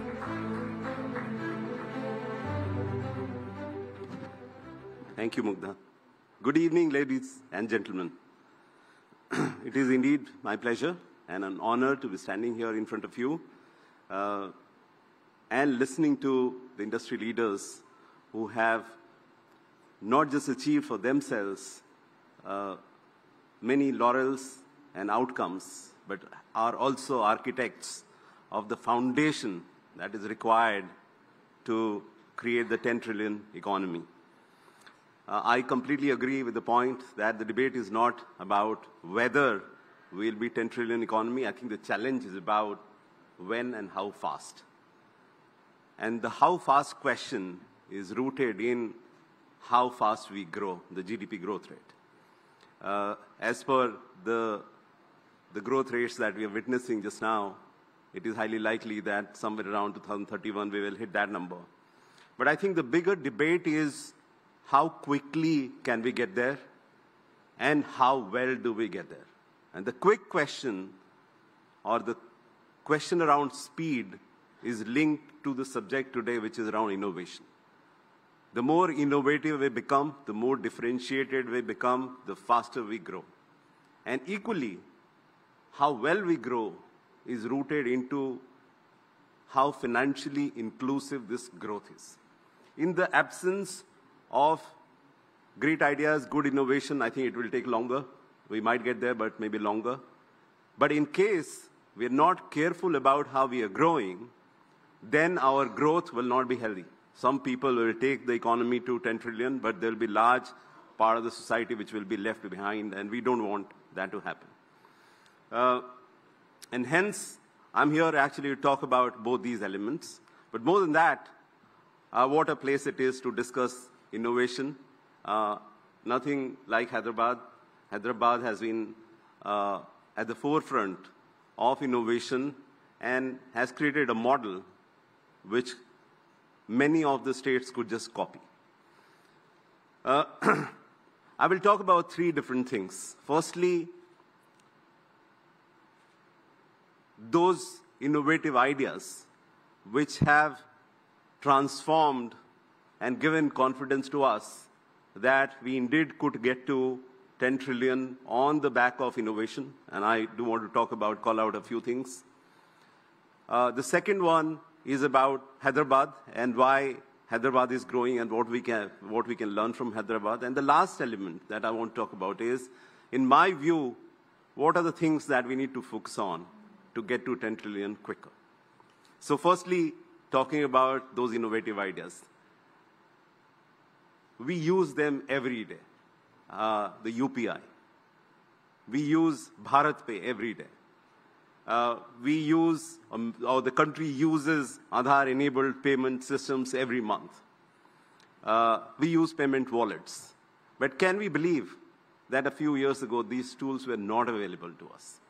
12 billion transactions take place on UPI every month. And the population of this world is 8 billion. So more than the population of the world are the number of transactions which are taking place on UPI every day. Uh, Aadhaar-based payments, and Mr. Kumar, Prashant Kumar talked about how beneficial it has been in terms of cutting out the leakage. 99.5% success rate. Bharat Pay or Bharat Bill payment system actually enables 125 million transactions, 30,000 crores of payment every month. These are really large numbers. And we achieved that. I mean, the, this, these, things, these things existed. The payments did take place. The bills were paid. But the mechanism has changed. And it has not only created uh, convenience in our lives, but also has given us confidence that we indeed can pursue the agenda of innovation far more quicker. The second example is about innovation along with uh, inclusion. And the best example is uh, JAM, Jandhan, Aadhaar, and Mobile all coming together, creating a platform where billions of transactions are taking place now. 761 million accounts which are Aadhaar linked, and the payments are going there. These, ladies and gentlemen, happened over the last few years and we didn't realize, but we are taking the advantage and benefits of that. FinTech disruptions.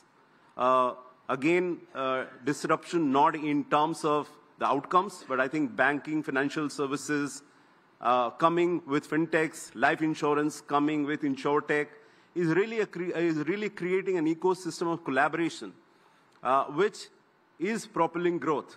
Uh, the fintech business will be about $200 billion by 2030. Uh, will have asset under management of $1 trillion by 2030. These are really large numbers. Uh, digital lending growing at a fast pace. So the, the point that I'm trying to make is we must take pride in the innovation that we are seeing in the ecosystem. And I think that builds foundation for our growth. And we should expect that we will not take longer. In fact, we should take shorter to get to the destination, an intermediate destination of 10 trillion. And eventually, as our Honorable Prime Minister says, by 2047, hitting a number of upwards of $30 billion. Coming to my second subject of Hyderabad, and uh, you know, I've had deeper connects with Hyderabad, not just uh, in the job that I do. Uh, we have large presence here in Hyderabad. Uh, but one has witnessed Hyderabad transform so beautifully from being a historic city to now a tech city. Uh, it is definitely the second destination in terms of new startup, uh, new ecosystem which is being built. Uh, we just heard the CEO of T-Hub talk about some of the examples and the beauty with which the entire ecosystem of startups, talent availability, technology, investors, and academia has come together for the city of Hyderabad is really noteworthy, really, really creditworthy. Uh, I was looking at some data. Uh, global capability centers are talked about quite a lot. Last year, uh, about 17 people set up global capability centers in India. Eight of them, 40%, came to Hyderabad. Uh, I was looking at some data of lease uh, being done. 32% of corporate leasing of the top seven cities happened in Hyderabad. This is how Hyderabad is growing. And all this is happening because of a very proactive model of policies. Uh, you know, the ICT, uh, the, uh, the innovation policy, uh, uh, the portals which are set up, uh, the ease of doing business which the state has adopted, those things have really helped Hyderabad become what it has become today. And I'm sure in a few years to come, there'll be many more examples like Hyderabad in our country, and that will build foundation. So people who are from Hyderabad, really, this country must be proud of. Uh, what, in my belief, is going to create uh, or take us to the 10 trillion part really quicker. Uh, there are five or six areas. Firstly, stability of policy making or stability of maybe, if you're lucky, about political regime because to an extent the polit politics and policy making are linked to each other. I think things are working for us. Like in corporate setup, if a management team performs, we should just continue with it. In my sense, at a very high level, this is what this country needs. And maybe the progress that we have made over the last 10 years is a reflection of continuity of, uh, of principles, of policies, and I think that helps. But more than that, I think macroeconomic uh, consistency is also important. Uh, the combination of monetary policy and fiscal, uh, as a result, India has been doing quite well. Uh, if you look at the last few years post-COVID, our performance, our outcomes on uh, on inflation has been superior to other people. Our interest rate regime has worked out quite well. The stress that Western world had to go through, perhaps India just came out quite unscathed. And that, I'm hoping that that continues because that will be a big ingredient towards building the 10 trillion economy quicker. Prashant Kumarji mentioned a few things. Investment in infrastructure that is needed. Uh, we have done some good work, especially around uh, roadways, uh, ports, but I think more and more work towards, uh, you know, building other parts of infrastructure, even roadways is needed, and that will, that will require capital, uh, and that's a must to hit, hit the 10 trillion economy. Uh, continuous build-up of startups. I think not just from the perspective of job creation, but new ideas, energy, uh, catalyzing the growth is dependent on how well we are supporting the ecosystem uh, of startups, giving them credits, making their, their lives easy in terms of doing business, uh, availability of easier tax regime, those things are required. If we look at the digital public infrastructure that got built and many things that we're talking about now is being built, it's like guardrails or it's like the track on which the vehicles move. And I think all of us put together will have to continue to build on the basic digital foundation which has been created, all the sectors. I always say collectively we can come together and think about the country, but any big plans should have small plans, right? Likewise, maybe the industry that I represent, uh, insurance industry, will have to figure out what is our plan for 2032. Banking industry will have to come together and decide what is their plan. Every industry must have a plan uh, because when all the plans will aggregate, maybe we'll hit the number. I think technology will continue to evolve, artificial intelligence, Gen AI, uh, which will require investment. But one area that we must continuously talk about is uh, the cyber security part. I think investments must go because as we evolve, risk management to in the area of technology will become equally important. And last but not the least, perhaps skilling must go on. We will need people who will deliver the outcomes. We will need very, very skilled uh, people while we will have large number of people. But how are we skilling? How are we enabling? Will also play a big role. Uh, I think with all these three things coming together, I'm, I'm quite confident uh, that uh, sooner rather than later, we will hit the 10 trillion mark. And I just wish uh, that when we get there, we grow in the right manner, where people at large, the 140 crore people, most of them are beneficiary of this growth, not just a small fraction, because otherwise our growth will not be healthy. Thank you very much and let's wish all of us all the best so that we hit that national mark as soon as we could. Thank you.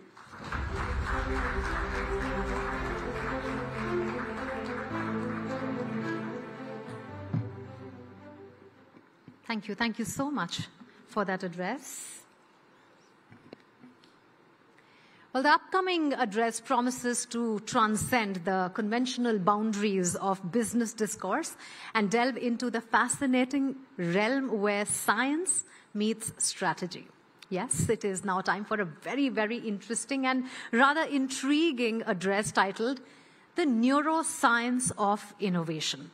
Now, we have with us a leading neuroscientist, someone who is often called India's brain enhancer. He was the global policy head on aging and neurodegenerative diseases at G20, B20 summits. He is one of India's top expert on high performance for leaders, brain computer interface, photobiomodulation, cellular healing, longevity, futurism, neuroeconomics, and much, much more, which he's going to talk to you about. Please join me as I welcome on stage Kumar Bagrodia, leading neuroscientist and founder, NeuroLeap, who will now speak to you about do leaders have different brains? All yours. Thank you, Mugdha.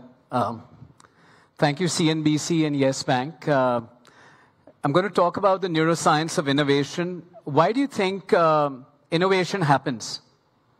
Any, any shout outs? Why are humans able to innovate? Necessity, yes. Sorry? Survival, absolutely right. Absolutely. We can't, uh, there's no progress without innovation. So the human species is the only one in the universe that can imagine a future that doesn't exist.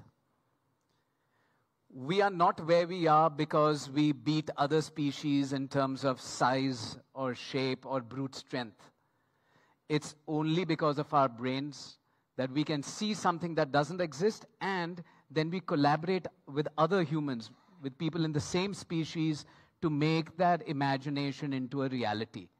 That is something unique to humans. But the problems are we are also designed for survival, right? Our brain is designed to do things only for survival, and we are also very resistant to change.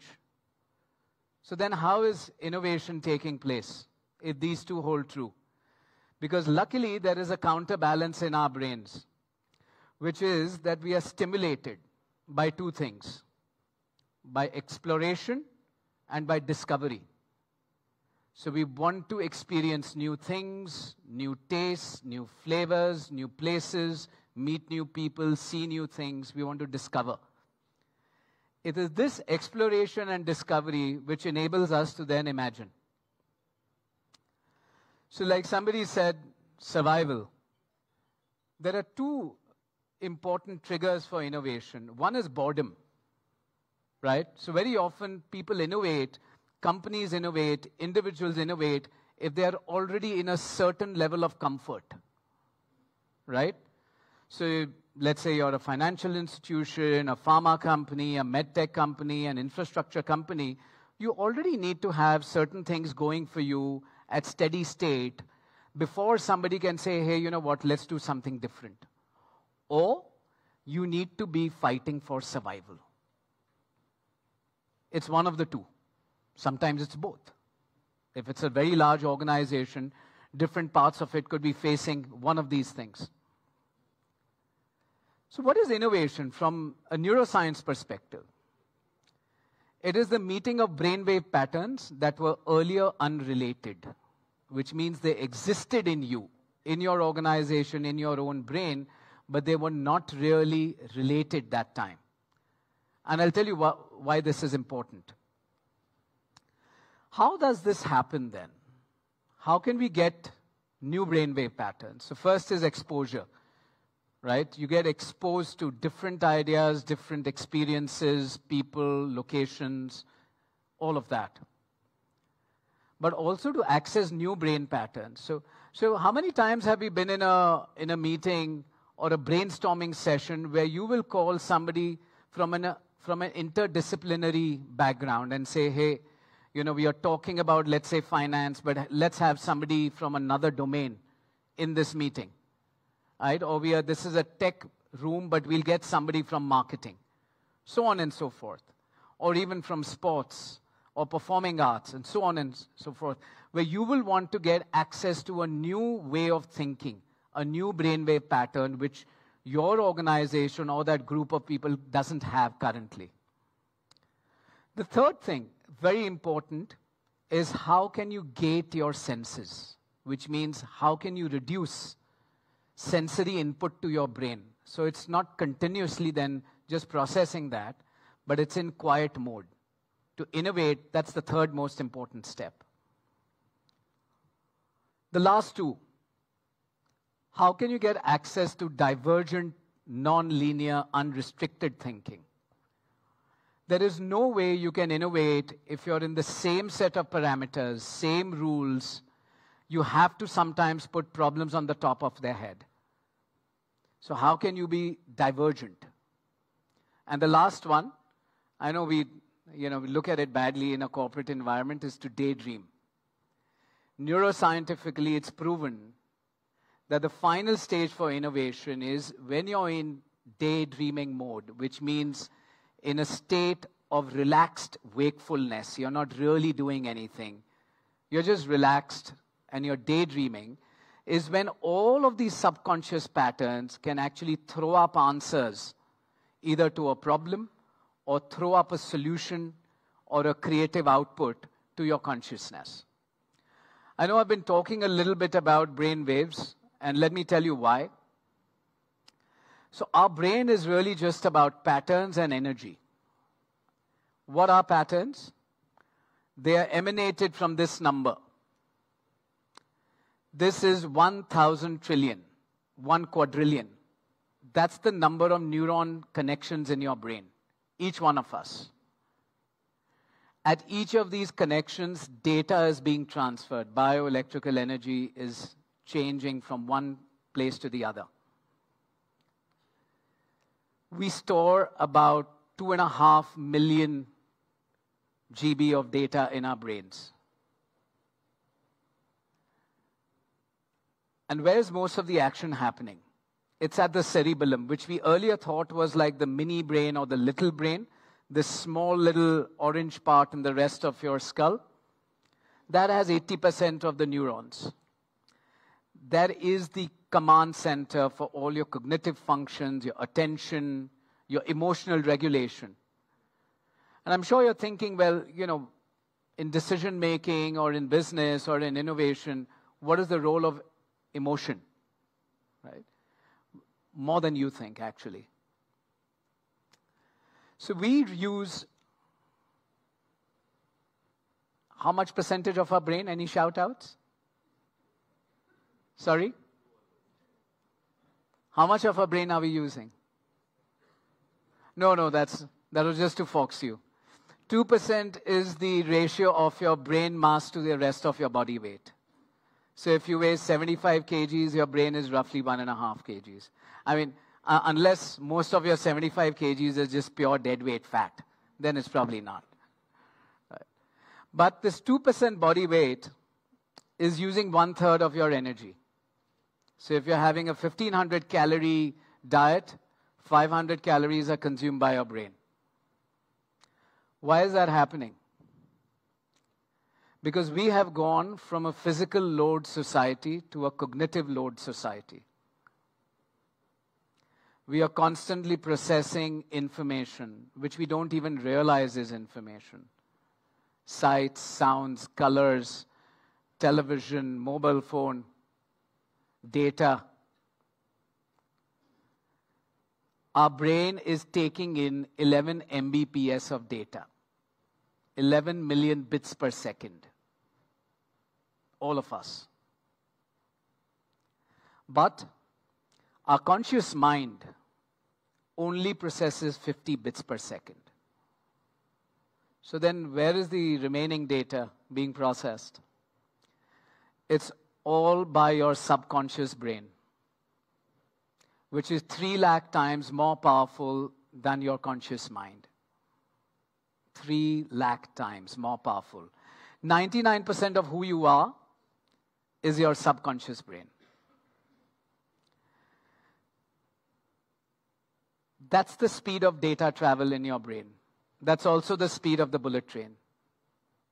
So just imagine, just this much space, and that's the speed at which information is changing hands between one neuro- neuron synapse and the other. Can you recognize some of these habits? Anybody shout out if they have been prone to this? I have mapped 18,000 brains in India. There's not one individual who's not been prone to maybe two or three of these at least. All of us. And it's not good or bad. It works for you at certain times. Sometimes being irrationally optimistic is great. Sometimes, you know, being in a loss aversion zone is great, but you can't go through life completely like that. So these are all patterns in your brain, they are subconscious. Who wakes up in the morning and say, I will be loss averse consciously? I will be mindfully loss averse. I will be irrational. No. We all assume that human beings are rational individuals, but that's far from the truth. So we discussed that your brain is just about 2% of your body weight, but consumes one third of your energy, which means it is so heavy in terms of mass to energy consumption. To conserve its energy, it creates patterns. What are those patterns? Those are the biases, the habits, the ways of thinking, your mindset, who you become, your character, your personality. That's your subconscious. Repeated interactions over time, the experiences of people, places, things, objects, make you who you are.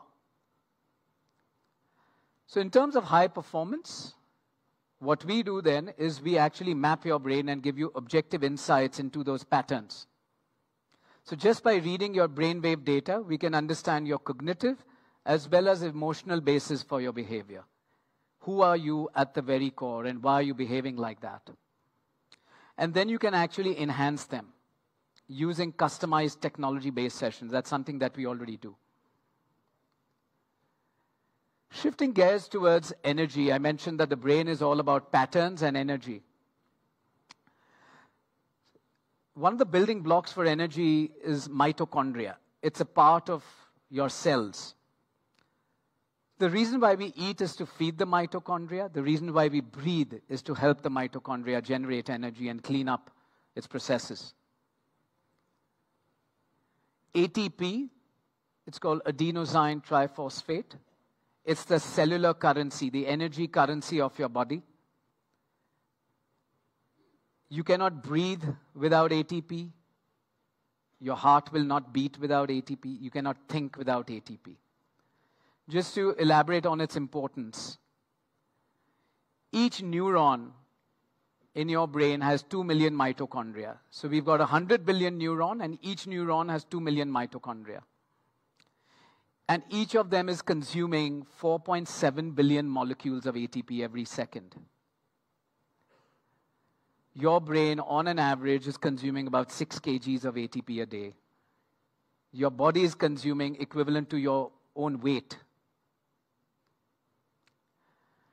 And this is one of the ways to generate more energy for your brain, body, and your cellular processes called photobiomodulation, which is how can you use light to power your mitochondria? So essentially, certain specific wavelengths of red and near infrared light get absorbed by the mitochondria and they produce more ATP. Now imagine if the power cells in your body are able to generate more energy without any more glucose input, without any more food input. What does that mean? Means this is higher efficiency energy. Energy which was produced without you having to do more work. So that energy is available to your brain and your body and your cells for better healing, anti aging, anti oxidation, anti inflammation, so on and so forth. So we agree knowledge is limitless. Yeah? We have Google, we've got the mobile phone, we've got AI, which is overtaking human consciousness. So AI is writing books, poetry, creating art, creating music, creating movies as well. So in this environment, how will you win? It's going to be your subconscious patterns. And yes, you can change your subconscious patterns at any age. You can figure them out, you can understand why you are the way you are, and use technology to change your patterns. We've just got about a minute left. Happy to answer any questions. Great. Thank you. Thanks. Thanks.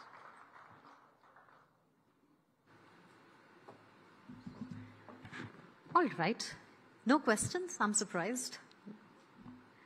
Maybe they, you, you'll it happens all the time that everybody comes later to you and yeah. asks all those questions about how leadership brain can be different. And uh, neurosnacking is what we were talking about yeah. the other day, how uh, in New York, uh, the CEOs and CFOs, after their lunch hours, are going for neurosnacking to get their brain waves yeah. Uh, stimulated. so, yeah, all the leaders out here, you can uh, basically mob uh, Mr. Bagrodia after this. Uh, before I let you go, uh, may I request uh, Mr. Prashant Tripathi, MD and CEO, Max Life Insurance, to please come on stage and felicitate Kumar with souvenirs courtesy Yes Private and CNBC TV 18.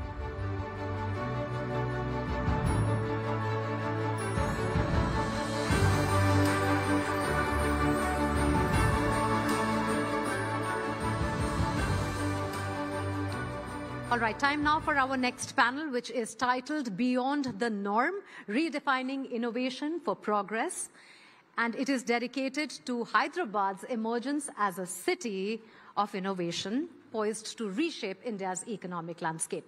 With a focus on inclusive and sustainable development, Hyderabad stands as a prime candidate to lead in sunrise sectors and establish cutting edge production capabilities. This discussion will serve as a platform to shed light on what sets Hyderabad apart from other innovation hubs and its vital contributions to India's envisioned 10 trillion dollar economy. To moderate this session, may I invite on stage Jude Sannith from CNBC TV 18.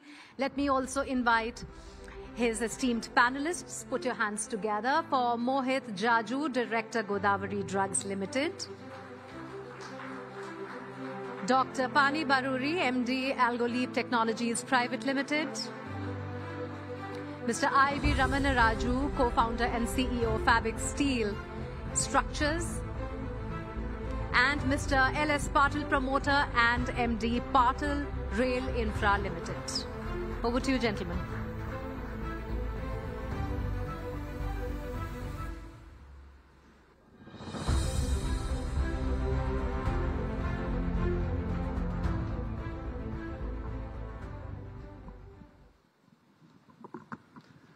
Right. I believe that each and every one of us who listened to Kumar Bagrodia's talk just a few minutes ago can agree to one thing, and that is innovation and progress simply go hand in hand. And if there's one thing that, or one common thread that connects the both, it's simply the fact that neither of these two have a static state, given the fact that they must always be moving, always evolving.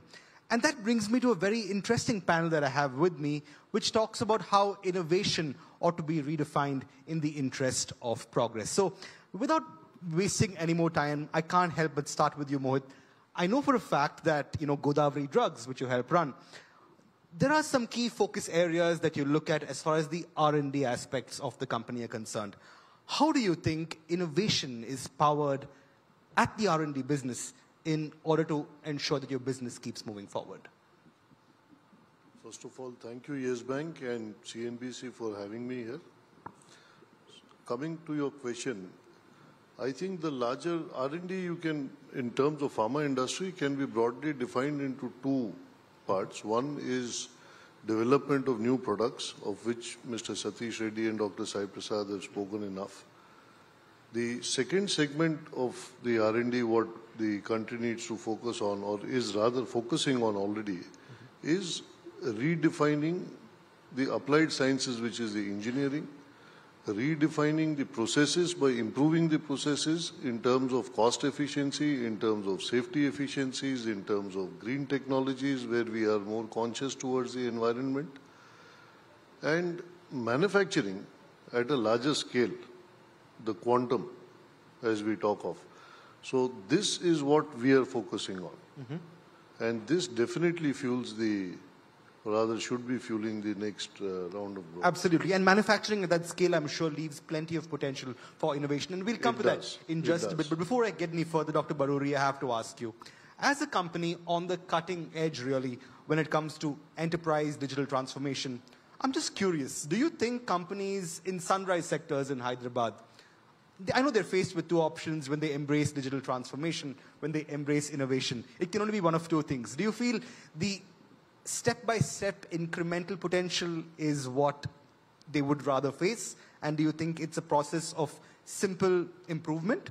Or do you, on the other hand, think that embracing digital transformation and this big change of innovation, at least from their perspective, could, on the other hand, hamper business growth, at least in the near term? It's got to be one of the two, at least in the near term. Which one is it? Uh, thank you, Yes Bank and CNBC TV 18. I think uh, uh, I would I would actually put it in one sentence, right? I think you should have a mindset of disruptive digital shift, but the approach should be incremental, right? It can't be one because it depends on the size of the company, size of the sector, uh, the location, the people you have, and all those things, right? I think sunrise sector is inherently innovative, right? Uh, innovations are easily accepted by the people, right? And being a sunrise sector, you have a lot of competition. You have to stay ahead of the curve. Uh, to stay ahead of the curve, I think the digital shift has to be rapid. But that doesn't mean that you do a rapid digital shift and fail. Uh, what you have to do is start with incremental, get the digital foundations right, right? Right. When we say digital foundations, it means uh, I'm talking from IT or any, any perspective, right? Do I have data in place? Do I, do I have infrastructure in place? Are my processes automated?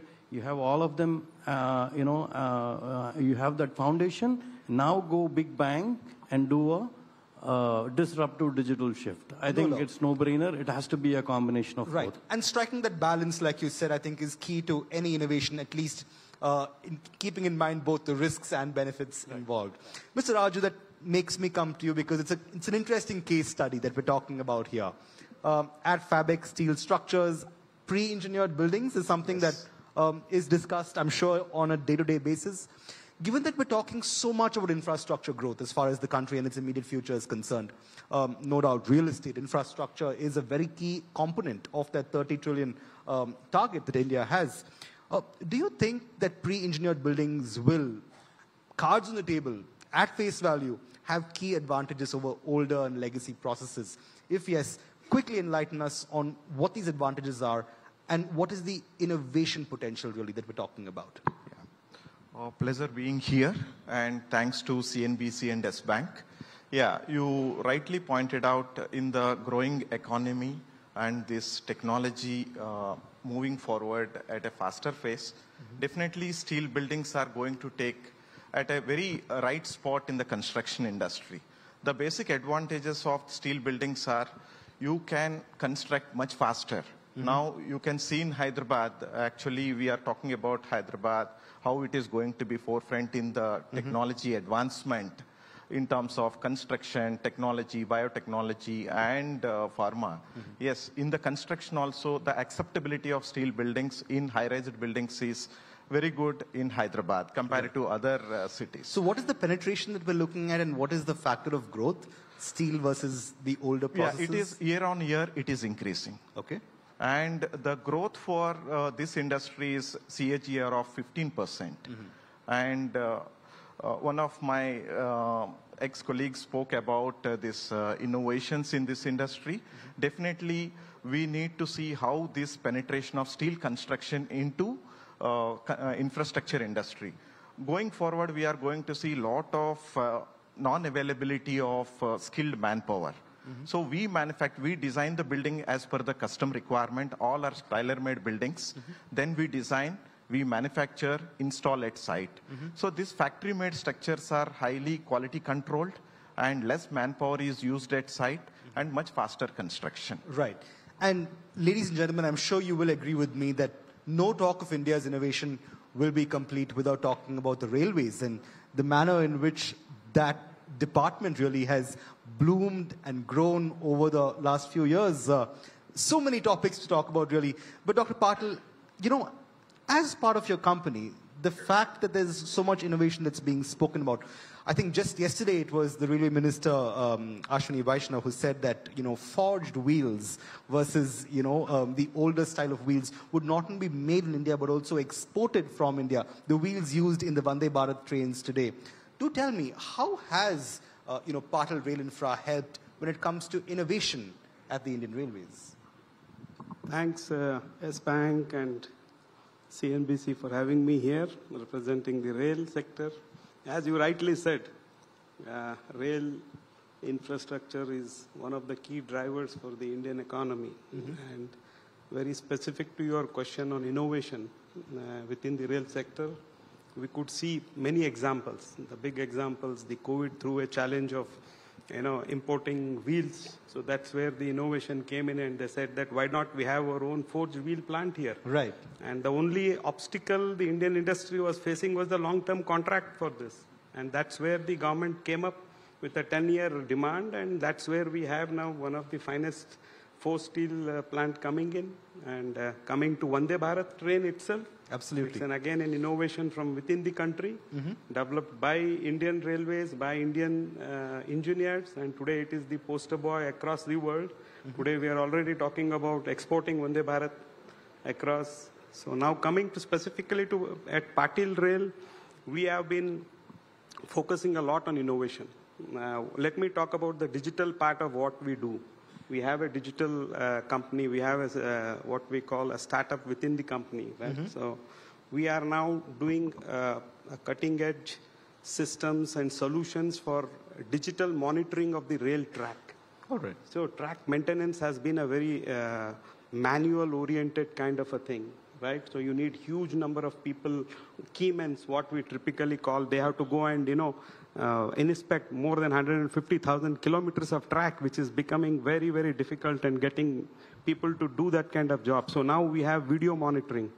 So we have set up certain uh, condition monitoring. So very high speed cameras that are attached to the trains. They just go around as the train moves around and, you know, immediately de detects what kind of faults are there on the track and immediately reports and goes to the cloud. We have image processing and artificial intelligence sitting there to tell you that what are the exact defects and where the defects are. Mm -hmm. So this is an, one very important thing that we have worked out and it's now uh, already panned out in the market. Then we have for the rolling stock wayside, uh, wayside systems where we monitor the wheel axles, the temperature on the wheels, on the axles, and the problem with the bearing using acoustic technology, using uh, beams, multi-beams, so detecting any problem with the wheels. So mm -hmm. that's another thing. The wheel impact load detector is another thing where we have flat wheels, which is disturbing the track and leading to derailment. So taking safety as critical because that was the mission critical statement mm -hmm. by Honorable Minister and uh, we took that as a challenge and today it's an Indian company which is now able to do it and now we have orders from New York Metro, we have orders from Sweden. So right. now India with providing the solution not only to Indian railways, this innovation and this technologies will now be available to the global market. Absolutely. And ladies and gentlemen, this is Indian innovation, I'm sure, at its finest, all poised for growth, not just here, but on the global scale as well. Absolutely. But, but you know, but you know, I need to come back to you, Mr. Mohit. You mentioned a little while ago about how scaling up will be a very critical part of Indian innovation. Um, I can't quite help but think back to the uh, you know bulk drug park that's supposed to come up at Nakapalli. What will that do for your business really? Will you see a shift in production capacity closer home to um, Hyderabad? Uh, and does you know scaling up and catering to demand uh, for an industry at large also what does it do to the kind of work that you're doing uh, on the infrastructure front, on the innovation front? Are you ready for the scale up really? So, yes, I mean, uh, just as like the park coming up at Narkapalli, there are almost all the states in India, the state governments are focusing on creating good industrial mm -hmm. parks with, uh, you know, so-called amenities mm -hmm. and common facilities which are required otherwise for the industry to provide for themselves. Mm -hmm. So what it does effectively at a very uh, I would say at a reduced capex, mm -hmm. you can still have those facilities and the industries can be more compliant to what the requirements of the day are. All right. And of course, volumes, licenses become easier because these are all pre-licensed parks. So your environment clearances, you don't really need to go to mm -hmm. uh, public hearings. Mm -hmm. uh, B2 category, it can happen in a year, which can otherwise take maybe three to four years. So a lot of advantages of being part of these kind of parks. For example, effluent treatment plant, I mean, from the kind of industry background that we come from, that's a huge challenge. And the cost involved is so high, both from the capital point of view and from the operating cost point of view. Mm -hmm. Operating cost, yes, the industry has to bear, there's no option. But CapEx, at least if there can be a common infrastructure which is created and an effective infrastructure which can meet the global demands today, mm -hmm. we need to be conscious towards our environment for the next generation, for our own generation, right. while managing the growth. Right. So these kind of parks are really going to drive mm -hmm. the you know the, the scale of operations to the next level. Right. Coming back to us specifically, I think our manufacturing uh, focus is more towards Maharashtra and Telangana and the bordering areas. So I don't think we are, as a company, looking at uh, Narkapalli right now, but mm -hmm. I think these kind of parks overall will definitely help in a big way. Absolutely. And Dr. Baruri, even as we talk about bringing production capacities closer and, you know, um, shoring down on our capex, even as we have these capabilities um, at hand, the fact remains that Hyderabad has this distinct advantage of having tech-centric growth for the longest time now. It's been probably the most familiar story that we've all read about, watched with our own two eyes happen right in front of us. Do you think this serves for an excellent template if India were to achieve its $10 trillion target by 2030? Uh, are there lessons to learn from Hyderabad and its tryst with technology? Yeah, absolutely. I think uh, you need to look at uh, four factors actually, right? You need to look at the regional strengths. Uh, I think uh, every region has its own strength, whether it is, uh, you know, in terms of developing pharma or you go to the port cities to develop logistics, you go to uh, mining for uh, Northeast. But I think, as you said, I think IT is universal, but I think you need to look at the regional strength uh, where you have availability of a lot of talent and educational institutions. I'm sure India is, Mhm. I think, universally doing it everywhere, right? That's, that's number one, right?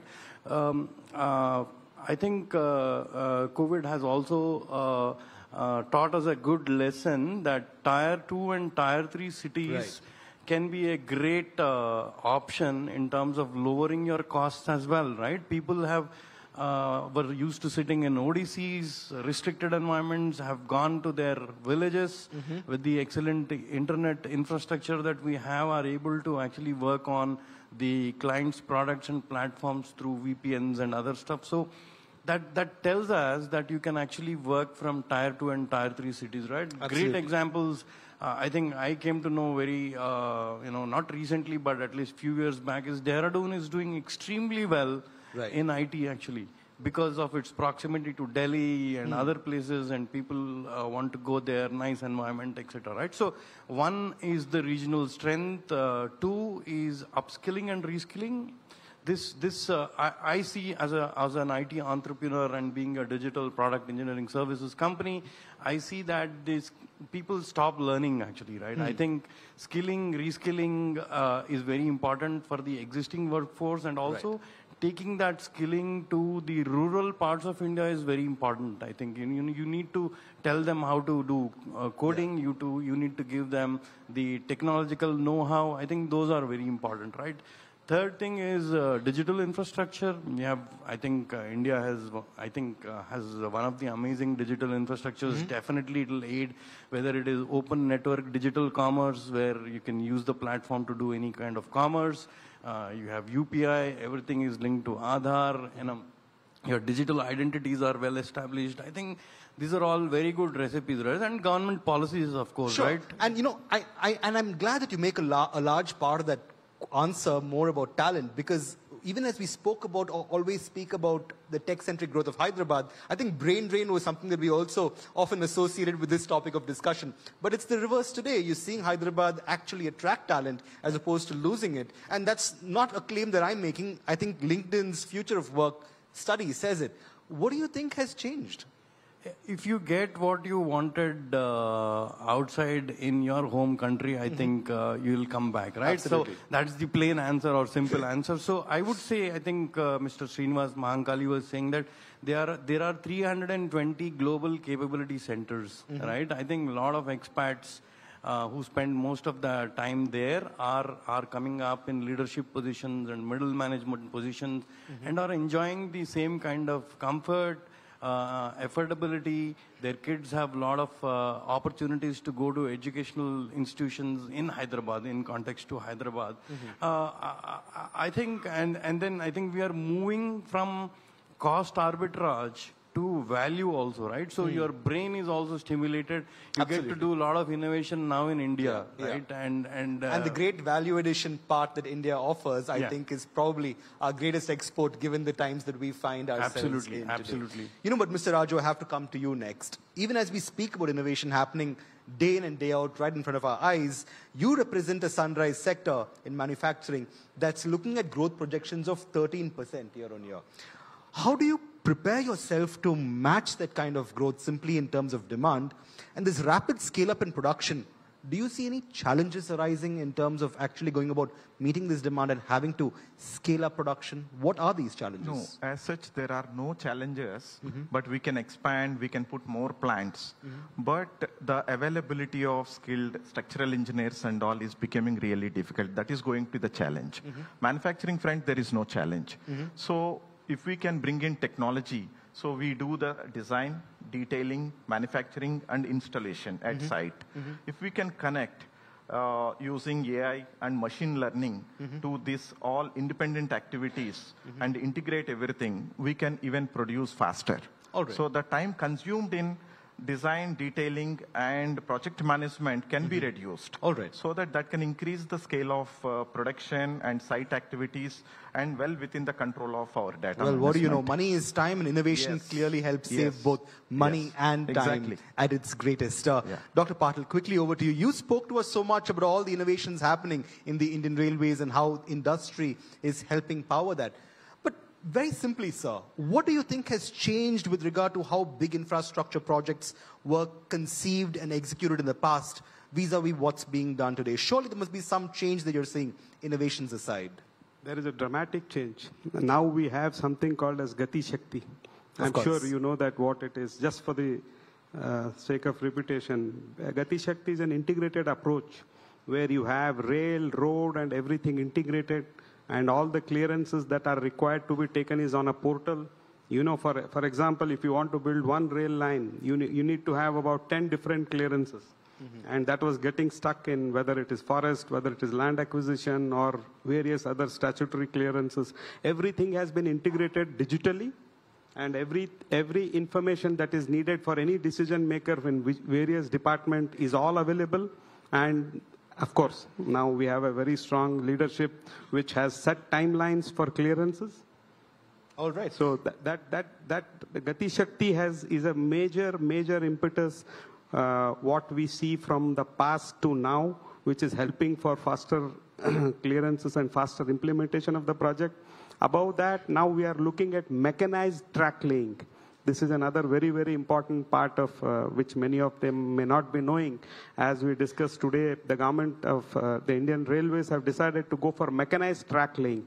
Typically, what we have seen is a lot of manual way of, uh, you know, if we want to build 10,000 kilometers of track now from the current 3,000, 3,500 target that we will achieve this year. So there is a huge amount of mechanization bringing, uh, being brought in into the construction of the track. All right. You know, and, these are, and these are massive changes, no these are doubt, all very big, massive changes that will drive the growth, that will ultimately contribute. and keep the innovation element Absolutely. also going. But I want to very quickly get the last word from three of these gentlemen. Even as Dr. Baruri spoke about how brain drain has pretty much ended because of the talent, the overabundance of talent, I have to ask you. Your company does well, make profits. What do you do with them?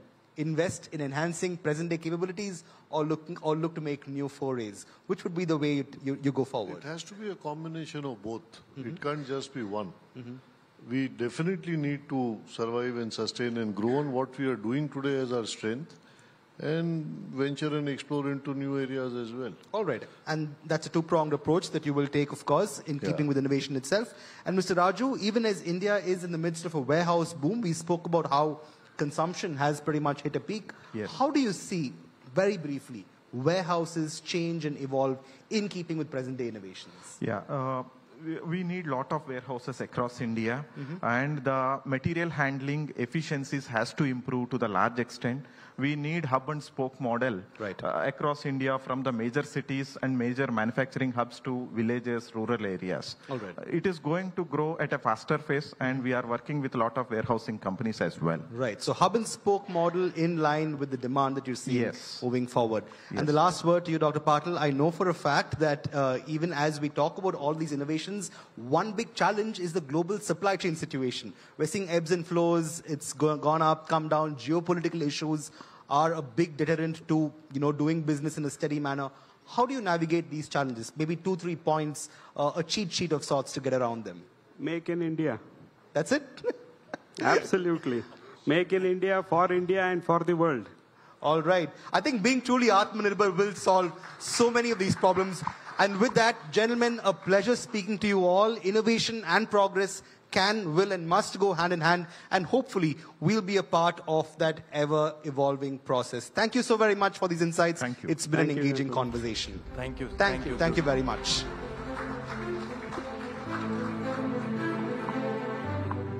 Gentlemen, may I please request you to stay back on stage? Thank you for that wonderful, wonderful dialogue. And now for the felicitations, may I request Mr. Rajan uh, Pental, Executive Director, Yes Bank, to please come on stage and felicitate our guests with uh, souvenirs courtesy Yes Private and CNBC TV18.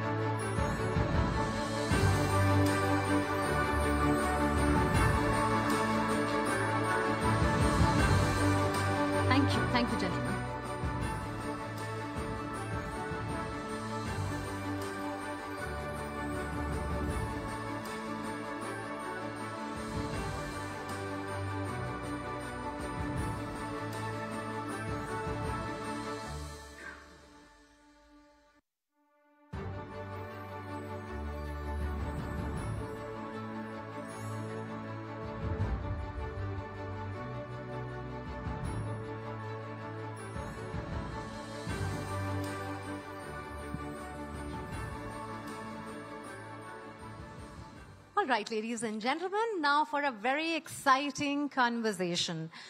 This discussion is centered around the theme from roles to roadmaps, stardom strategies. From his stellar performances in action packed thrillers to his heartfelt storytelling in cinematic gems like Major, Gudachari, and Kshanam, he has carved his path to excellence. Beyond his cinematic achievements, his humility, compassion, and unwavering dedication to noble causes make him a true role model. Join us as we celebrate the remarkable journey of this versatile artist whose presence brings luck and charm to every project he undertakes. Please welcome on stage Adi.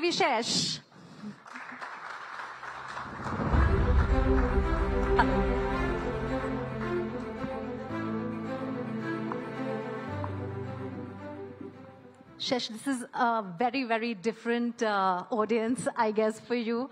We are sitting in a growth summit, and everybody is keen to uh, uh, pick your brains on your business acumen as well. Uh, I'm not very, uh, I'm not very smart on the business end, but uh, actually, you guys are in my hotel. We shot a lot of major here, so very nice to meet you all. Hmm. All right, um, let's first start to talk about uh, what social media is talking about at the moment, G2 and uh. Um, are these the projects that you're most excited about? What is 2024 looking like for you? Yeah, it's going to be a lot of uh, shooting for these two films. Um, G2 is the uh, sequel to my film Gudachari, um, which came out in 2018. It sort of uh, recreated the spy genre for Telugu cinema.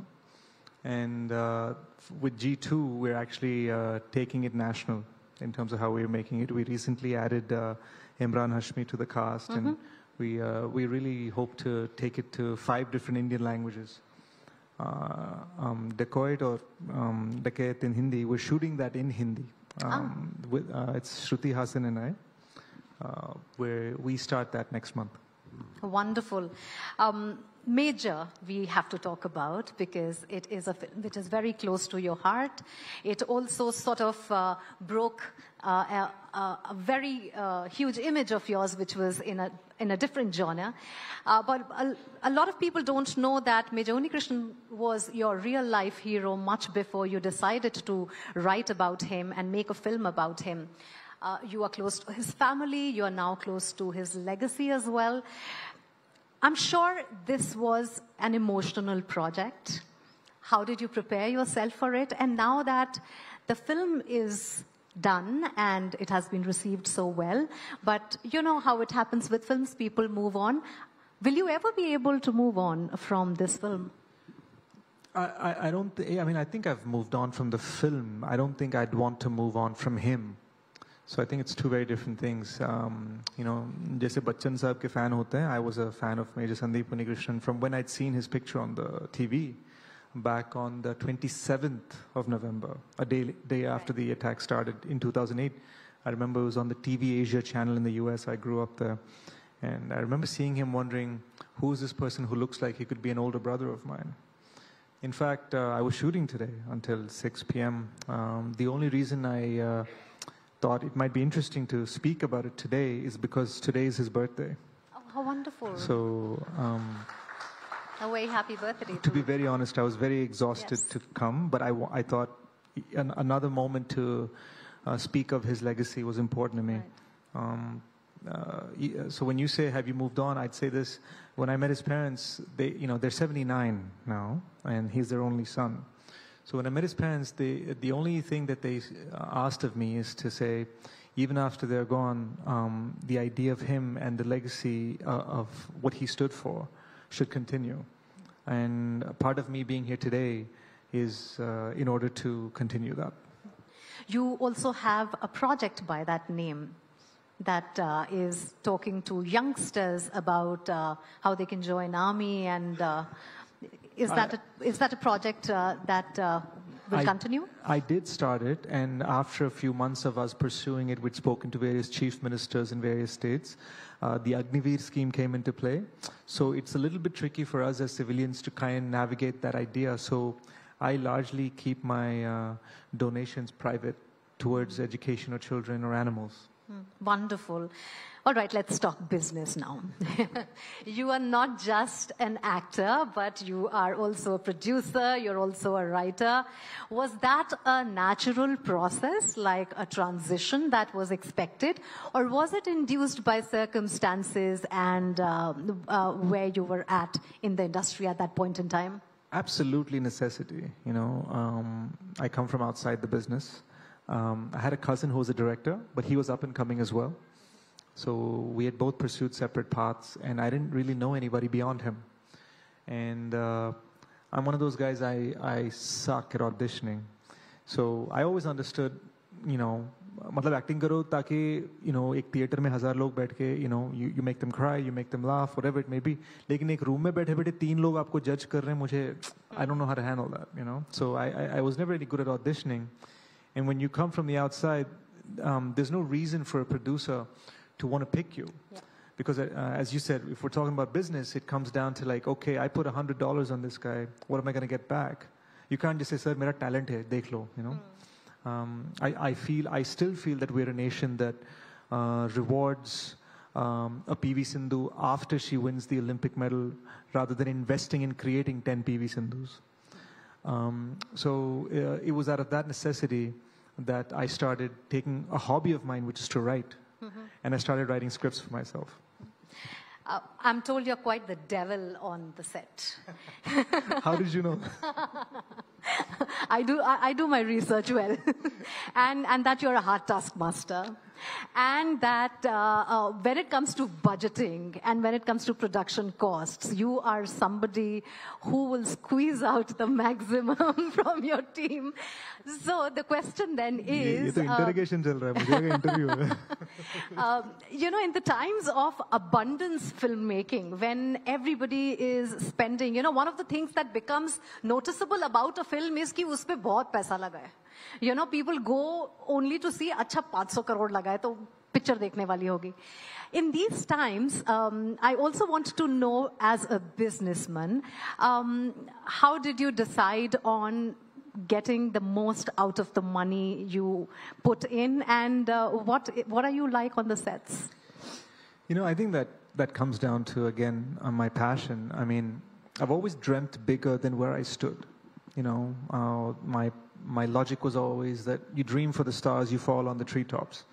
Um, you know, um, so I remember my film Kshanam had done very well. It was my first sort of big success as a lead actor. It was uh, remade in Hindi as Baaghi 2, remade in five or six Indian languages, remade in Sri Lanka as well. But I was, it was in that state where people were like, "Achha, theek hai, is pe 10-15 crore to laga sakte lekin isse zyada. That, that was that time in about 2016, 2015. And, you know, and I immediately was dreaming of a Gudachari which required a 30, 40 crore budget. But it wasn't going to happen. So the, the key was to work really hard. What you can't pay for with money, you pay for with energy and time. Um, I believe to make a great movie, you got to have two out of three things. And the three things are uh, your effort, time, and money. Aapke paas you got to try hard and you got to spend hard. You don't have money, uh, you got to spend a lot of time and you got to uh, put in a lot of effort. So it's always two out of three that makes a great film. If you only have one out of three, then you know what happens at the box office. What's with the production costs? You're known for bringing out the best out of uh, uh, a less. Your, uh, your films look more expensive than you have spent money. Is that your mantra? Uh, it was, uh, especially coming from a sort of independent film background and the kind of uh, filmmaking I'd studied in San Francisco. Um, but truth is, I think it's just about. I, I'm always going to be, uh, you know, uh, my next film's uh, touching a three-figure budget. But the thing is that you want to make something that looks three times that. That's always been the goal. And additionally, I think the reason why stuff always looked expensive is that I believe you can't buy taste. You know, I was recently in somebody's house. They had this huge mirror. They had a Mustang parked outside. Everything was looking really, really expensive but gaudy. So the goal isn't for stuff to be um, rich looking. The goal is for stuff to be elegant looking. Um, collaboration is key for any industry, and um, uh, you, everybody who's sitting here, who's uh, working in the startup, um, you know, startup environment, or even when we're talking about great teams, uh, every single person plays a role. Uh, in in that sense, when you're looking at collaborating with directors, producers, fellow actors what is it that you seek? Because uh, a lot of times work culture is so different. Uh, in Telugu industry, of course, it is very different from any other industry. Um, what is that one thing that you look for in all these partners? Because sometimes it so happens that you got to work with whoever is big and is available and is ready to put in the monies. But does your own uh, set set of uh, prerequisites come into place? Yeah, I mean, I, I- think it also depends on what stage of your career you're at. You know, when I was starting, I was just like, man, if somebody would just hire me, that'd be great. so, so I just think it depends on where you're at. And I think today I'm at the stage where uh, I'm only interested in believing, uh, in working with people who believe in a common goal. The common goal being we need to make an extraordinary film Um, I'm not in- interested in sort of, uh, uh, te- uh, te- you know, Telugu film industry में बोलते हैं package films. मतलब यार चलो इस hero, इस heroine, वो director टक टक टक package कर दिया बेच डाला picture को. You know, I, I'm not interested in that. Um, which probably makes sense as to why, you know, my last film released in December of 22, and I'm I've just begun shoot. So I spent a year writing. So I'm only interested in working with producers, directors, um, co-stars who understand that kind of a goal. There's a lot of actors who sort of get their freedom and their sort of kicks from doing two, three films in a year because for them it's like, yeah, I want to be different people at different times of the year. And I think that's amazing. I don't know how to do it. So I think uh, uh, I'm at that stage in my career where I'm interested in working with collaborators who have that fundamental need to tell something extraordinary. Um, how do you see work across different platforms now? There's OTT, there is, um, of course, films, uh, television is always popular, and um, uh, you know a lot of actors are also coming on television shows. Then, of course, there's YouTube and social media. Um, there are we are living in a very different time where uh, you have to evolve yourself and your craft to the business. Having said that is there one particular medium that you really enjoy? And in times to come uh, is it always about what you want or is, is it always about what the public wants? Where is that balance? I think, I, look, I've always only been interested in theatrical films. Um, I remember as a kid, I uh, watched Rajnikant's storm onto the screen in Basha. And ever since I saw him do that, I wanted to either see him, meet him, or be him. You know, and I think that it's been the whole pursuit uh, of a career in that sense. I've always believed that, you know, I, I make a small joke. It's it's in good f- it's in good fun. I don't mean it really, but uh, the joke is जब हम theatre में बैठते हैं sir उठा के देखते हैं जब ओ टी टी पे देखते हैं तो ऐसे सर झुका के देखते हैं you know um, so I, I so I uh, wonderful uh, I make that joke, but truth is, I think uh, w- w- you know we, we need to uh, we, we all want to tell stories, and I think different stories are suitable for different mediums. You know, if, if you look at a series like The Crown, it's suitable to the OTT medium, and it's probably higher budgeted and more watched And than long most format. theatrical films. Very long format. Yes. So, so I just think it depends on the story you want to tell. Mhm.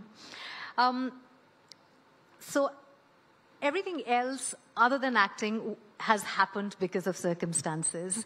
So tell me now, uh, if you get a chance, would you just go back to just acting? And if you were to go back to acting, how are you going to stop yourself from being the writer as well and the producer as well and director yourself in, in your head at least? I am so exhausted writing these two films. I'm very happy to just go back to acting.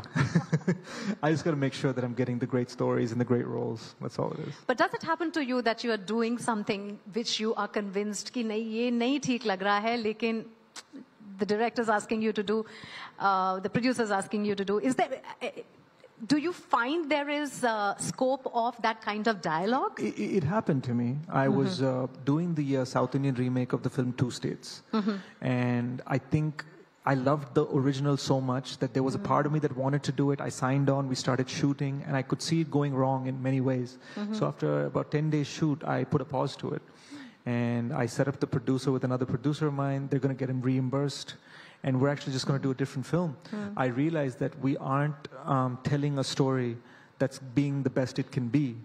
Um, so it was very important to me that uh, we only do that. So yeah, I've, I've been in that situation and I've walked away from it. That's a brave choice to make. A lot of people don't get to exercise that choice, but I'm glad you are in that space where you can do that. Um, a- a lot of times we talk about uh, feedback. And feedback of any kind is very important, um, uh, especially as an actor where you are exposing yourself to feedback of all kinds.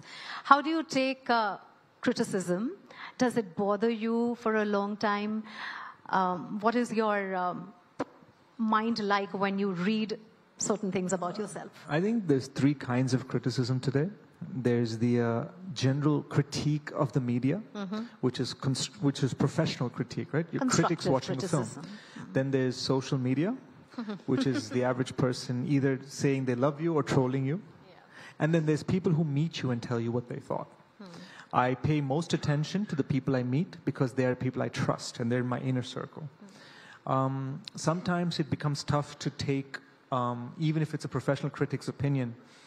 Um, I remember um, when um, Indian Express reviewed my film Gudachari, and it had done so well at the box office. It was, an, it was at the time a 9.1 on IMDb. Um, the critic uh, in that paper, he wrote, um, he's only made this film to satisfy his dreams of playing James Bond. now, I don't know how this guy decided that he can get in my head and decide what I wanted to play. But uh, I thought that was a personal attack. You're not Hmm. commenting on, yeah, mujhe acting nahi lagi, mujhe story achhi nahi lagi. You're not talking about that. You're talking about this guy wanted to do this. You're talking about my motivations of making a film. That's not very professional. And then social media told him, to yaar, ab कोई बोलेगा, you know, अरे you're only 6'2", कोई बोलेगा you're 6'2", you know, कोई बोलेगा you, you don't look South Indian, कोई बोलेगा you don't look North Indian, you know, all this True. stuff. You, you just take that with a grain of salt. Talking about social media, you know, and uh, social media is something that's very important for businesses as well, um, because everything is, if it, if it isn't on social media, it never happened, is what they say. Uh, having said that, 24 7 scrutiny, judgment, and the good and the bad and the ugly. uh, You know that it is the demand of your profession to be on social media, to expose your life to a certain extent for your fans. But it's got to take toll on you. How do you keep that sanity? Oh man, that's. I don't think that's a that's a that's an answer anybody truly has. I think we all try our best. Mhm. I'm just I'm just one of those guys. You know, I'm I'm, I'm a millennial. So what happened was I was on that cusp where I saw the analog life. Mhm. And I saw the digital life come in. So I don't feel the pressure of needing to post 20 pictures of myself a day. So sometimes I'll just go radio silent for like two months on Instagram. And, you know, my manager is not happy with that. so, so to be, to be very honest with you, I've not been very good with social media, but I figure you make a great movie, it makes up for it. You know, there was a time when uh, you had icons, you worshipped them, but they were enigmatic and they were, their lives were very away from you, from the point of view that you knew very little about them. today everybody is on social media and that's the reason why there is constant pressure on performers as well that they need to keep their audience engaged even when they are say not making a film they are not making uh, uh, news um, uh, to be specific.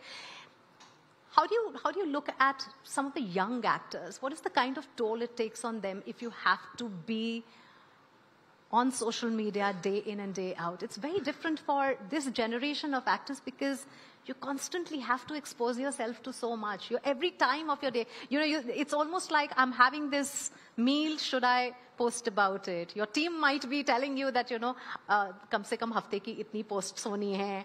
Uh, but you know that it puts a lot of pressure most definitely i think um, you know so many people I, I, know a lot of actors who will look up ki yar, is hafte mein mere mein kitne news articles and, and you know you, you start wondering if uh, you, you start wondering if you're relevant I think for me, what I've realized is there's so many people getting hit with so many information about so many movies mm. and so hmm. many TV shows and so many sneakers and brands and everything else. I'm okay if they forget about me for six months because they only need to remember me when my next movie's coming out. Hmm. So I usually start ramping up my social media about three months before my movie's about to come out. Um, any other business interests other than your own field? Uh, look, I mean, there's there's a bunch of highly eminent businessmen and women here. So I, who am I to say? But I, I, do I do have a feeling that I wanted to share. Oh, hi. um, uh, you know, the, the, the feeling is I I think we all speak so much about you know, the, you know, we're speaking about the 10 trillion economy and GDPs. I think uh, uh, it, it's very important to look at capitalism from a, a place of responsibility, um, from a place of emotional ownership. Um, you know, बस इतना ही नहीं कि हमने कितना कमाया, but at what cost? Hmm. Um, I think that's that's very very important. Um, and I, I know that, and, and, I realize uh, I, I, I think there is something called responsible capitalism, and I feel like as a country I'm a bit worried that we kind of starting to run away from that and pr- perhaps even adopt the American approach, which is mm-hmm. unfettered capitalism. But it's come at great cost to their environment. It's come at great cost um, to the middle class over there.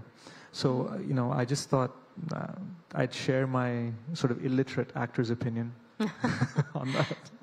Uh, before I let you go, one last question on what are some of the trends that you are seeing in your own industry? I know uh, you have lived outside of India. You have you have um, a more uh, sort of um, worldview. Uh, you watch a lot of stuff that is uh, put outside.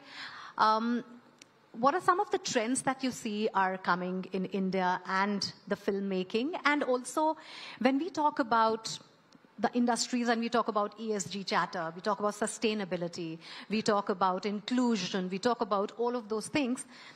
Where does film industry come in when we talk about these SDG goals? Is there a way of bringing them in in your industry? Yeah, film's messy, yo. Honestly, it's very, very messy. You know, we're suddenly going into a location, 400 assemble, and we're shooting and making it home for like three days and leaving. It's like every day of shooting on a film is like doing a wedding. Mm-hmm. So it's tough to be sort of eco-friendly when make when doing a wedding. So mm-hmm. it's like that.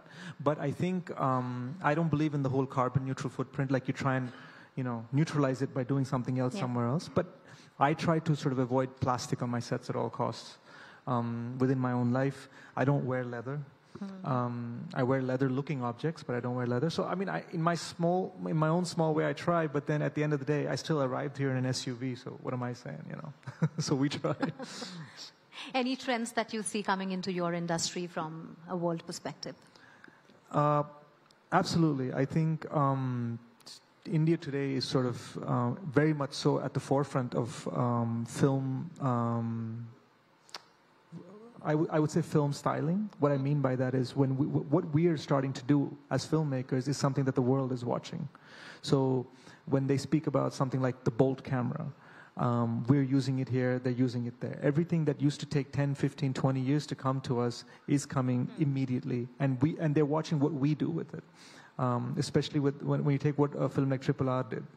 Um, uh, a lot of Americans are now suddenly exposed to this sort of Telugu unfettered heroism that, uh, that we're setting, and uh, I'm a big fan of that. So I, we're definitely in a situation where we're not only uh, following the trends coming in, but we're setting some.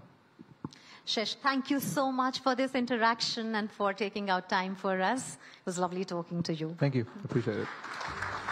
May I just invite Prashant on the stage for the felicitations, please? Just a second.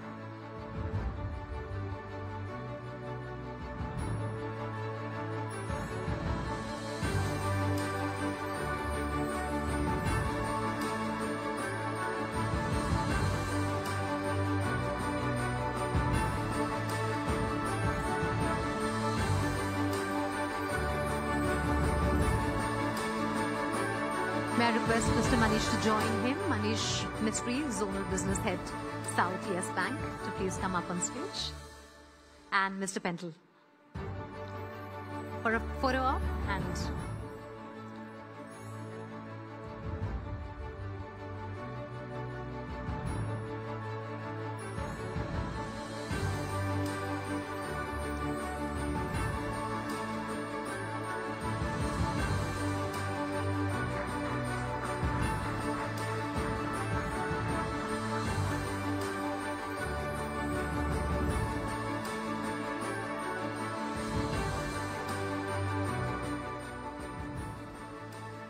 thank you, so much.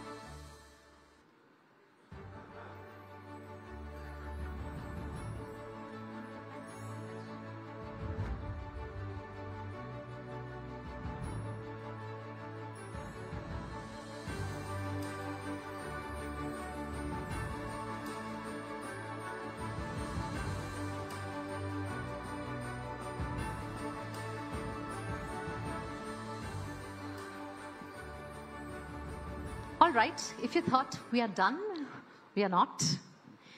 Well, this was exciting, but we have another one super exciting waiting for you. Welcome, champions and enthusiasts, to a session that promises to ignite your spirit and fuel your ambitions. Today, we are honored to be in the electrifying presence of none other than Saina Nehwal, a name synonymous with grit, determination, and unparalleled success in the world of badminton. Welcome.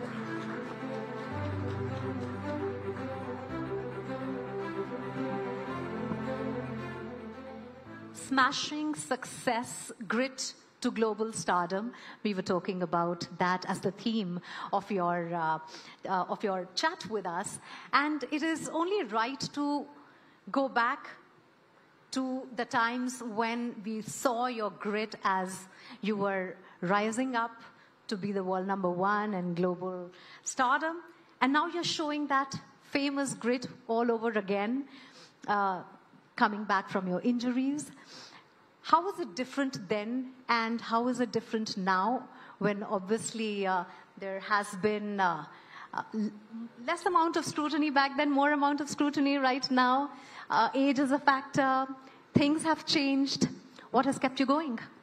Um, I think um it's definitely difficult for all the players. Um, not only me, but everyone is fighting fighting out. Um, sports बहुत risky होता है सबको पता है everyone takes risk here to become the best in the world and um, some lucky ones don't get injuries often but some some do but finally it's about uh, you know winning and doing well sport एक ऐसा field है जो आप कम time के लिए खेलते हैं but आपको बहुत कुछ मिल जाता है। एंड डॉक्टर्स और इंजीनियर्स तो बहुत है बट स्पोर्ट्स पर्सन तो बहुत कम है। एंड आई नो उतना ही tough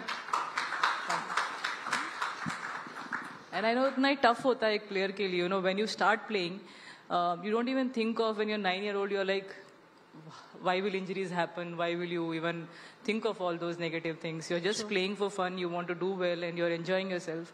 suddenly you, you are winning so many titles, you're everywhere. And these small injuries are like in the newspapers and everyone is asking you, injury ho gaya, kitne din lagenge ab aane ke liye. Um, I think khatam ho gaya career. And at that point of time, you know, I didn't even have uh, good physios or... Right. I got my first physio when I was 19. I already played the Olympics in wow. 2008 and I won the World Championships, Junior World Championships, Junior Commonwealth Games. I won my first um, Philippines Open in 2006, uh, beating world number three and uh, played the Commonwealth Games, got bronze medal over there. So all these in, uh, things happened to me and 19 में मुझे पता चलता है कि physio है and that's and obviously you, when you are playing for so many years, you need to have good trainer to give you good exercises. True. But my trainer, my physio, and everyone, uh, everything was uh, coach. अब coach ही बताते थे ये करो वो करो. And it's you you are following him because you know you just want to win you want to do well and hats off to my mom for putting me in such a sport जहाँ पे पैसा नहीं है sponsorships नहीं है कुछ नहीं है. बट शी वॉज़ लाइक नहीं मेरी बेटी ओलंपिक मेडलिस्ट बनेगी वर्ल्ड नंबर वन बनेगी.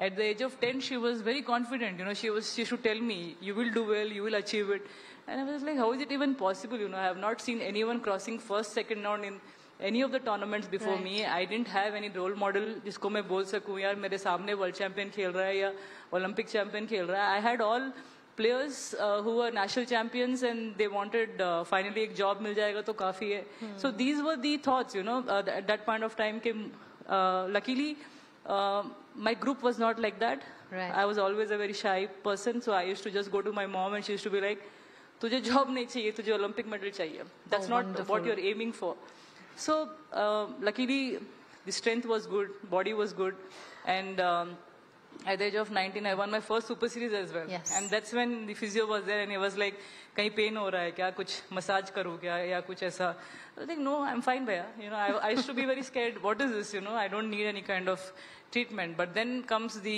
uh, I became world number two and then uh, comes the challenge for um, um, you know uh, 2010 में three back to back super series titles and uh, slowly I understood how how it really matters that uh, आपको support भी चाहिए एक physio का और trainer का and it started very well at that point of time but I never thought that I've, I've already pushed my body for 10, 11 years. So my knee started hurting already by, uh, then. And I had to take a break for two, three months. And everyone used to be like, very tough. India, mein, the first thing what they talk is very tough. It's impossible to come back. I know. So that's when, you know, I think my uh, team, my mom, my father, my uh, coaches were very supportive. They were like, Saina, you always come out of uh, this situation, you know, mentally you're very strong.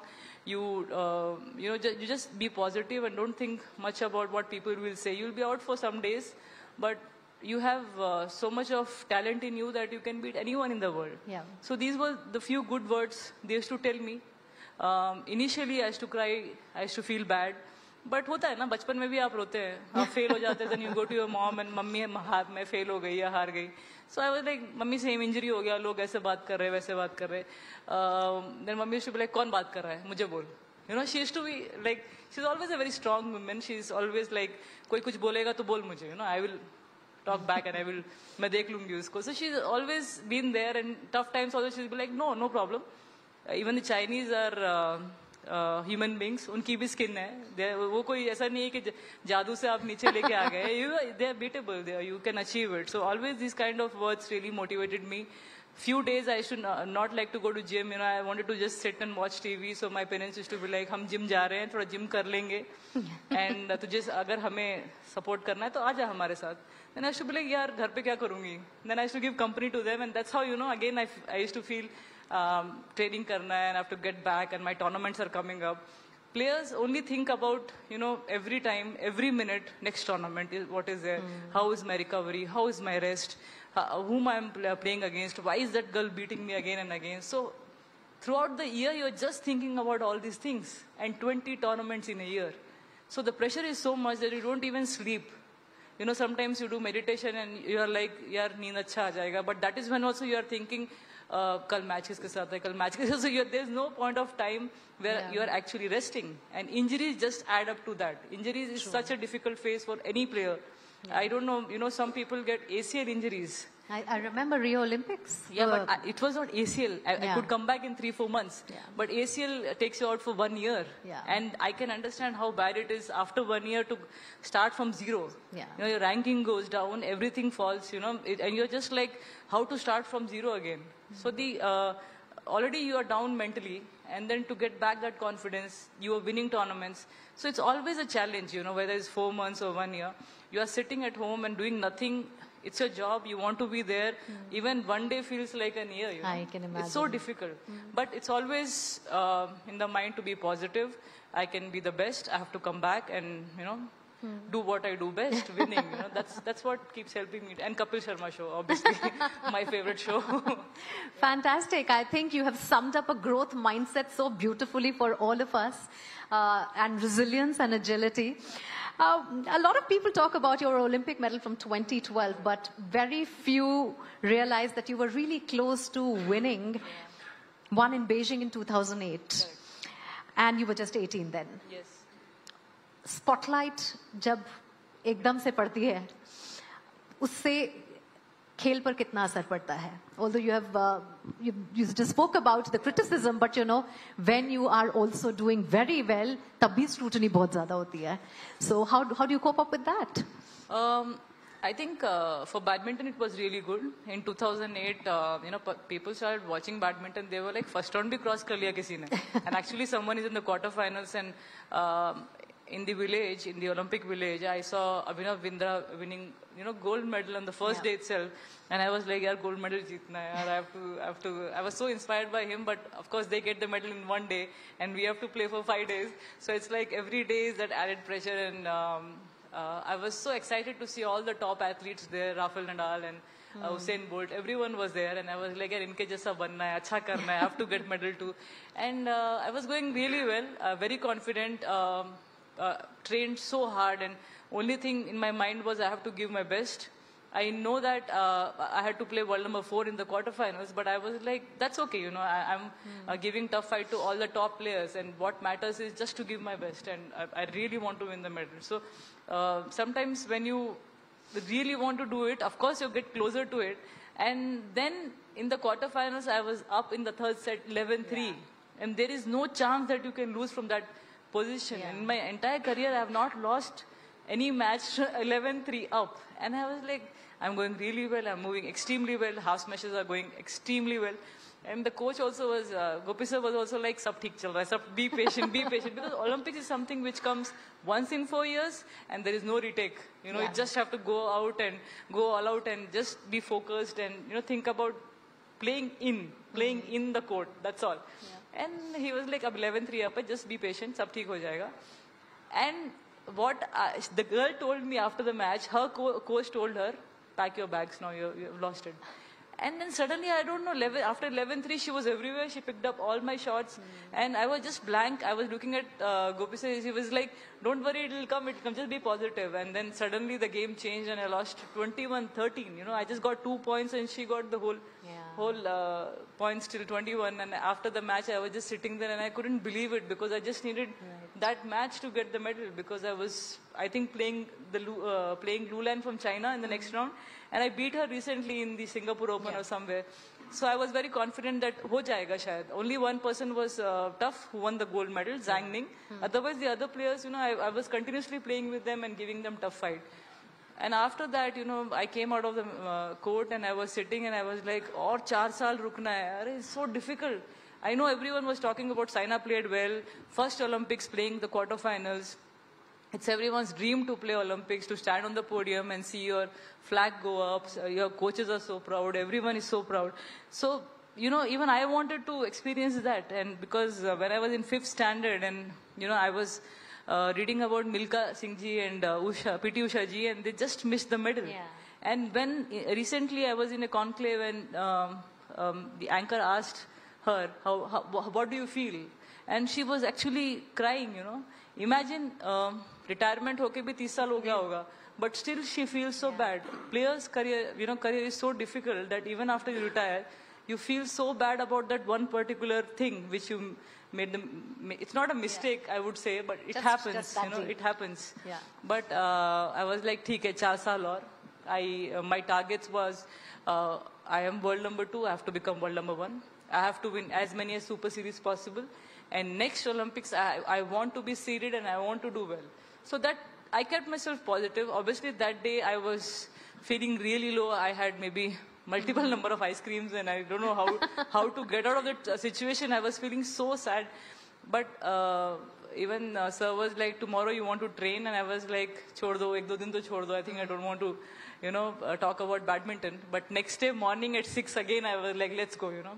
The motivation was so much that I just want to win it. And I don't know when it'll happen, but I was Right. definitely sure it'll happen. if I'm training right, if I'm doing things right, because whatever you train will show in the match. Right. There is no miracle. There is no shortcut, shortcuts in sports. What you do in training will definitely show in uh, uh, tournament. So uh, I, I was so happy that um, next year I won my first Super Series, and after that I won three Super Series back to back, and I was suddenly like compared to Dhoni and you know I was everywhere I, and it was so uh, difficult for me to digest even the coach was like itne sare media wale hain kya bolu main you know first experience to you know face right. such things it's always difficult and I was like what should I say and he was like jo puchte usko bata de you know we were uh, talking like that it was funny but that day I, I realized that if you perform back to back how things change. Yes. Suddenly badminton is the second most popular sport after cricket. Yeah. And it's only because of the performances and after that the young kids are seeing Saina playing, she's world number two. And all of them are now in top 50. Yeah. We have so many people uh, in top 50 now that every year we have performances. There's not mm -hmm. even a single year where we didn't have performance. Yeah. And everyone wants to play badminton. Mm -hmm. Everyone knows us. Yeah. But it's just that, you know, that 2008 Olympics really changed the things for me. I'm happy that uh, today, ke haar gaye to kuch Right. मैंने सीखने को मिला definitely but अगर उस time आ जाता तो things would have been different you know I I think I really train very hard for that one as well but I think that really help me to get the Olympic medal finally and after achieving it when I have the medal, as you know, I, I, I hold it and I'm still not able to believe it. that my hand mein Olympic medal because you know, they used you know, to say China versus China, and that was such a phrase that was uh, popular at that point in time. Everybody was talking about it. In top ten, yeah. In top ten, hmm. me and one more girl from Denmark and eight were from China. China, yeah. Um, now sports has changed, of course. Um, you have seen. Uh, um, you have seen time when badminton was played um, way back when you started your career. Now you're seeing it completely different. What are the three, two, three things that have come changed about the sport itself? And uh, of and about the sports sports women and sportsmen who are coming now, Sportsperson. Let's use inclusive language. Sportsperson that are playing badminton now. What, what has changed? Um, I think now you have so many things around you, like so easily. You have academy, you have physios, you have trainers, you have um, support from the age of 10, 11, when uh, I think uh, um some players at that point of time used to think, the sport mein milega kya? So they used to leave it because of the uh, problems with the uh, sponsorships and playing tournaments. So uh, after 10th, it is tough. You know, you have to take decision whether you want to study or you want to, because there is no, uh, you can't see a future in sport uh, that at that point of time.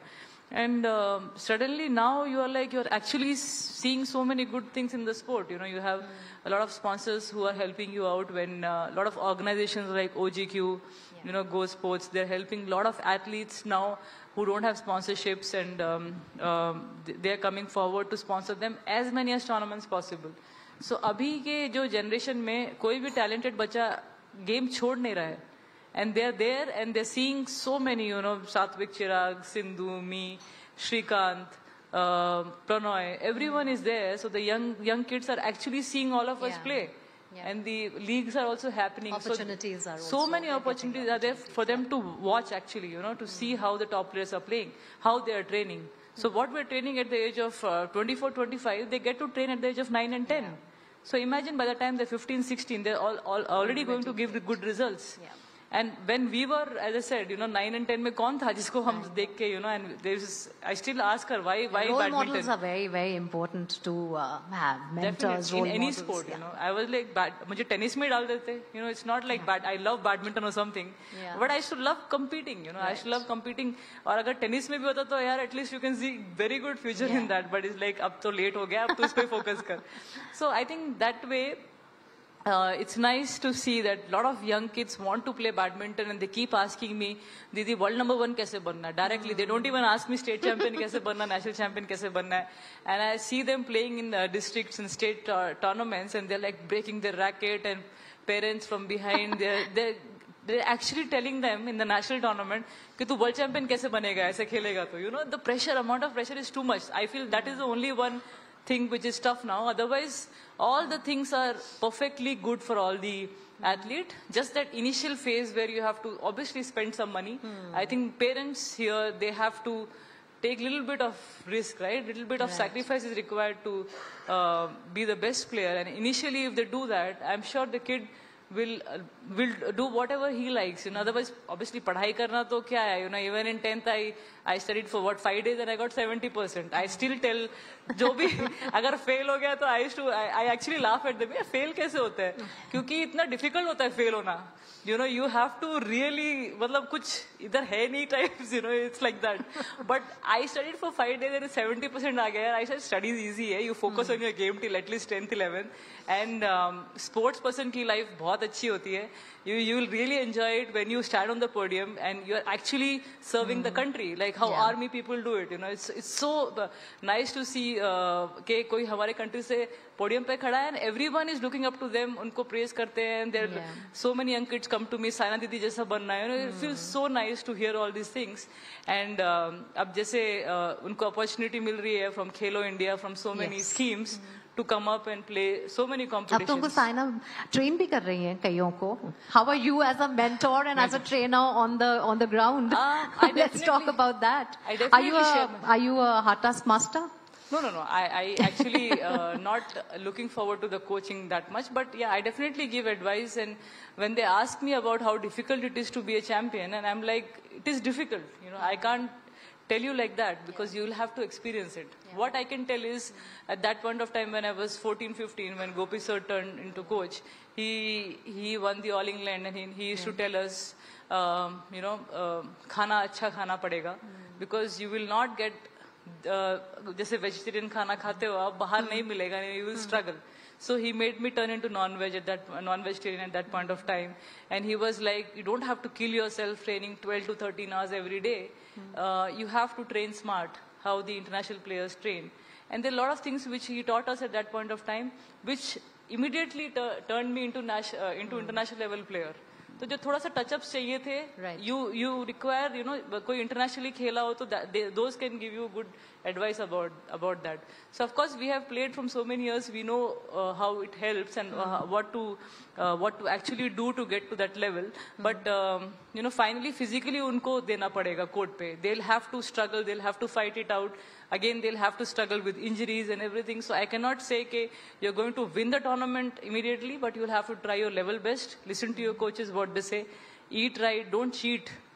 If you cheat that's bad for you. Yeah. finally cheating is bad for yourself. You know you are you are actually if you really want to do well you will not cheat. You know i've seen so many athletes not from india but even abroad they tell me यार ये नहीं touch करना है coach ने मना किया है I'm like एक दिन से क्या हो जाएगा बट एक दिन भी मैटर Right. करता है एक दिन even on Sundays it matters that if I cheat I'm cheating myself and the coach is there definitely standing for us for 16 hours not only me but so many young athletes and he's looking after everyone's training So you got to be sincere. so imagine Yeah. he, he's just sacrificing his whole life you know his his wife his kids and he's coming there standing for you imagine obviously you get this knowledge when you are I you're old you're not like nine ten में तो क्या आता yeah. है आपको दिमाग में but you realise it after certain point of time you know when team when your parents are putting it in your mind कि जीतना है अच्छा करना है then after twelve thirteen I think you start understanding yourself and you are like yes अच्छा yeah. करना है जीतना है competition you know that is what is important and if you're competing जो नर्वसनेस जो टेंशन होती है उसमें मज़ा ही अलग होता है you know? that's how, that's, that's how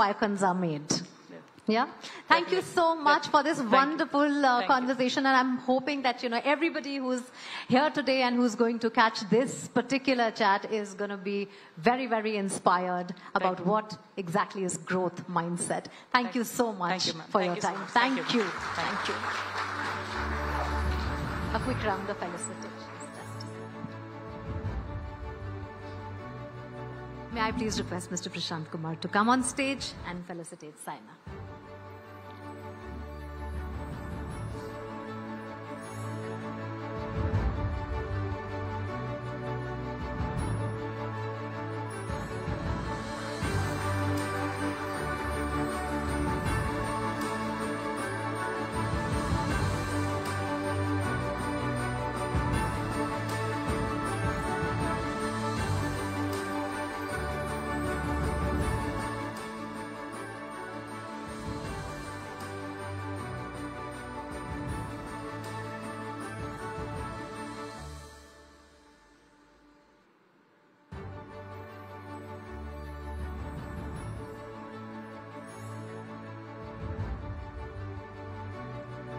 Thank you. Thank you so much.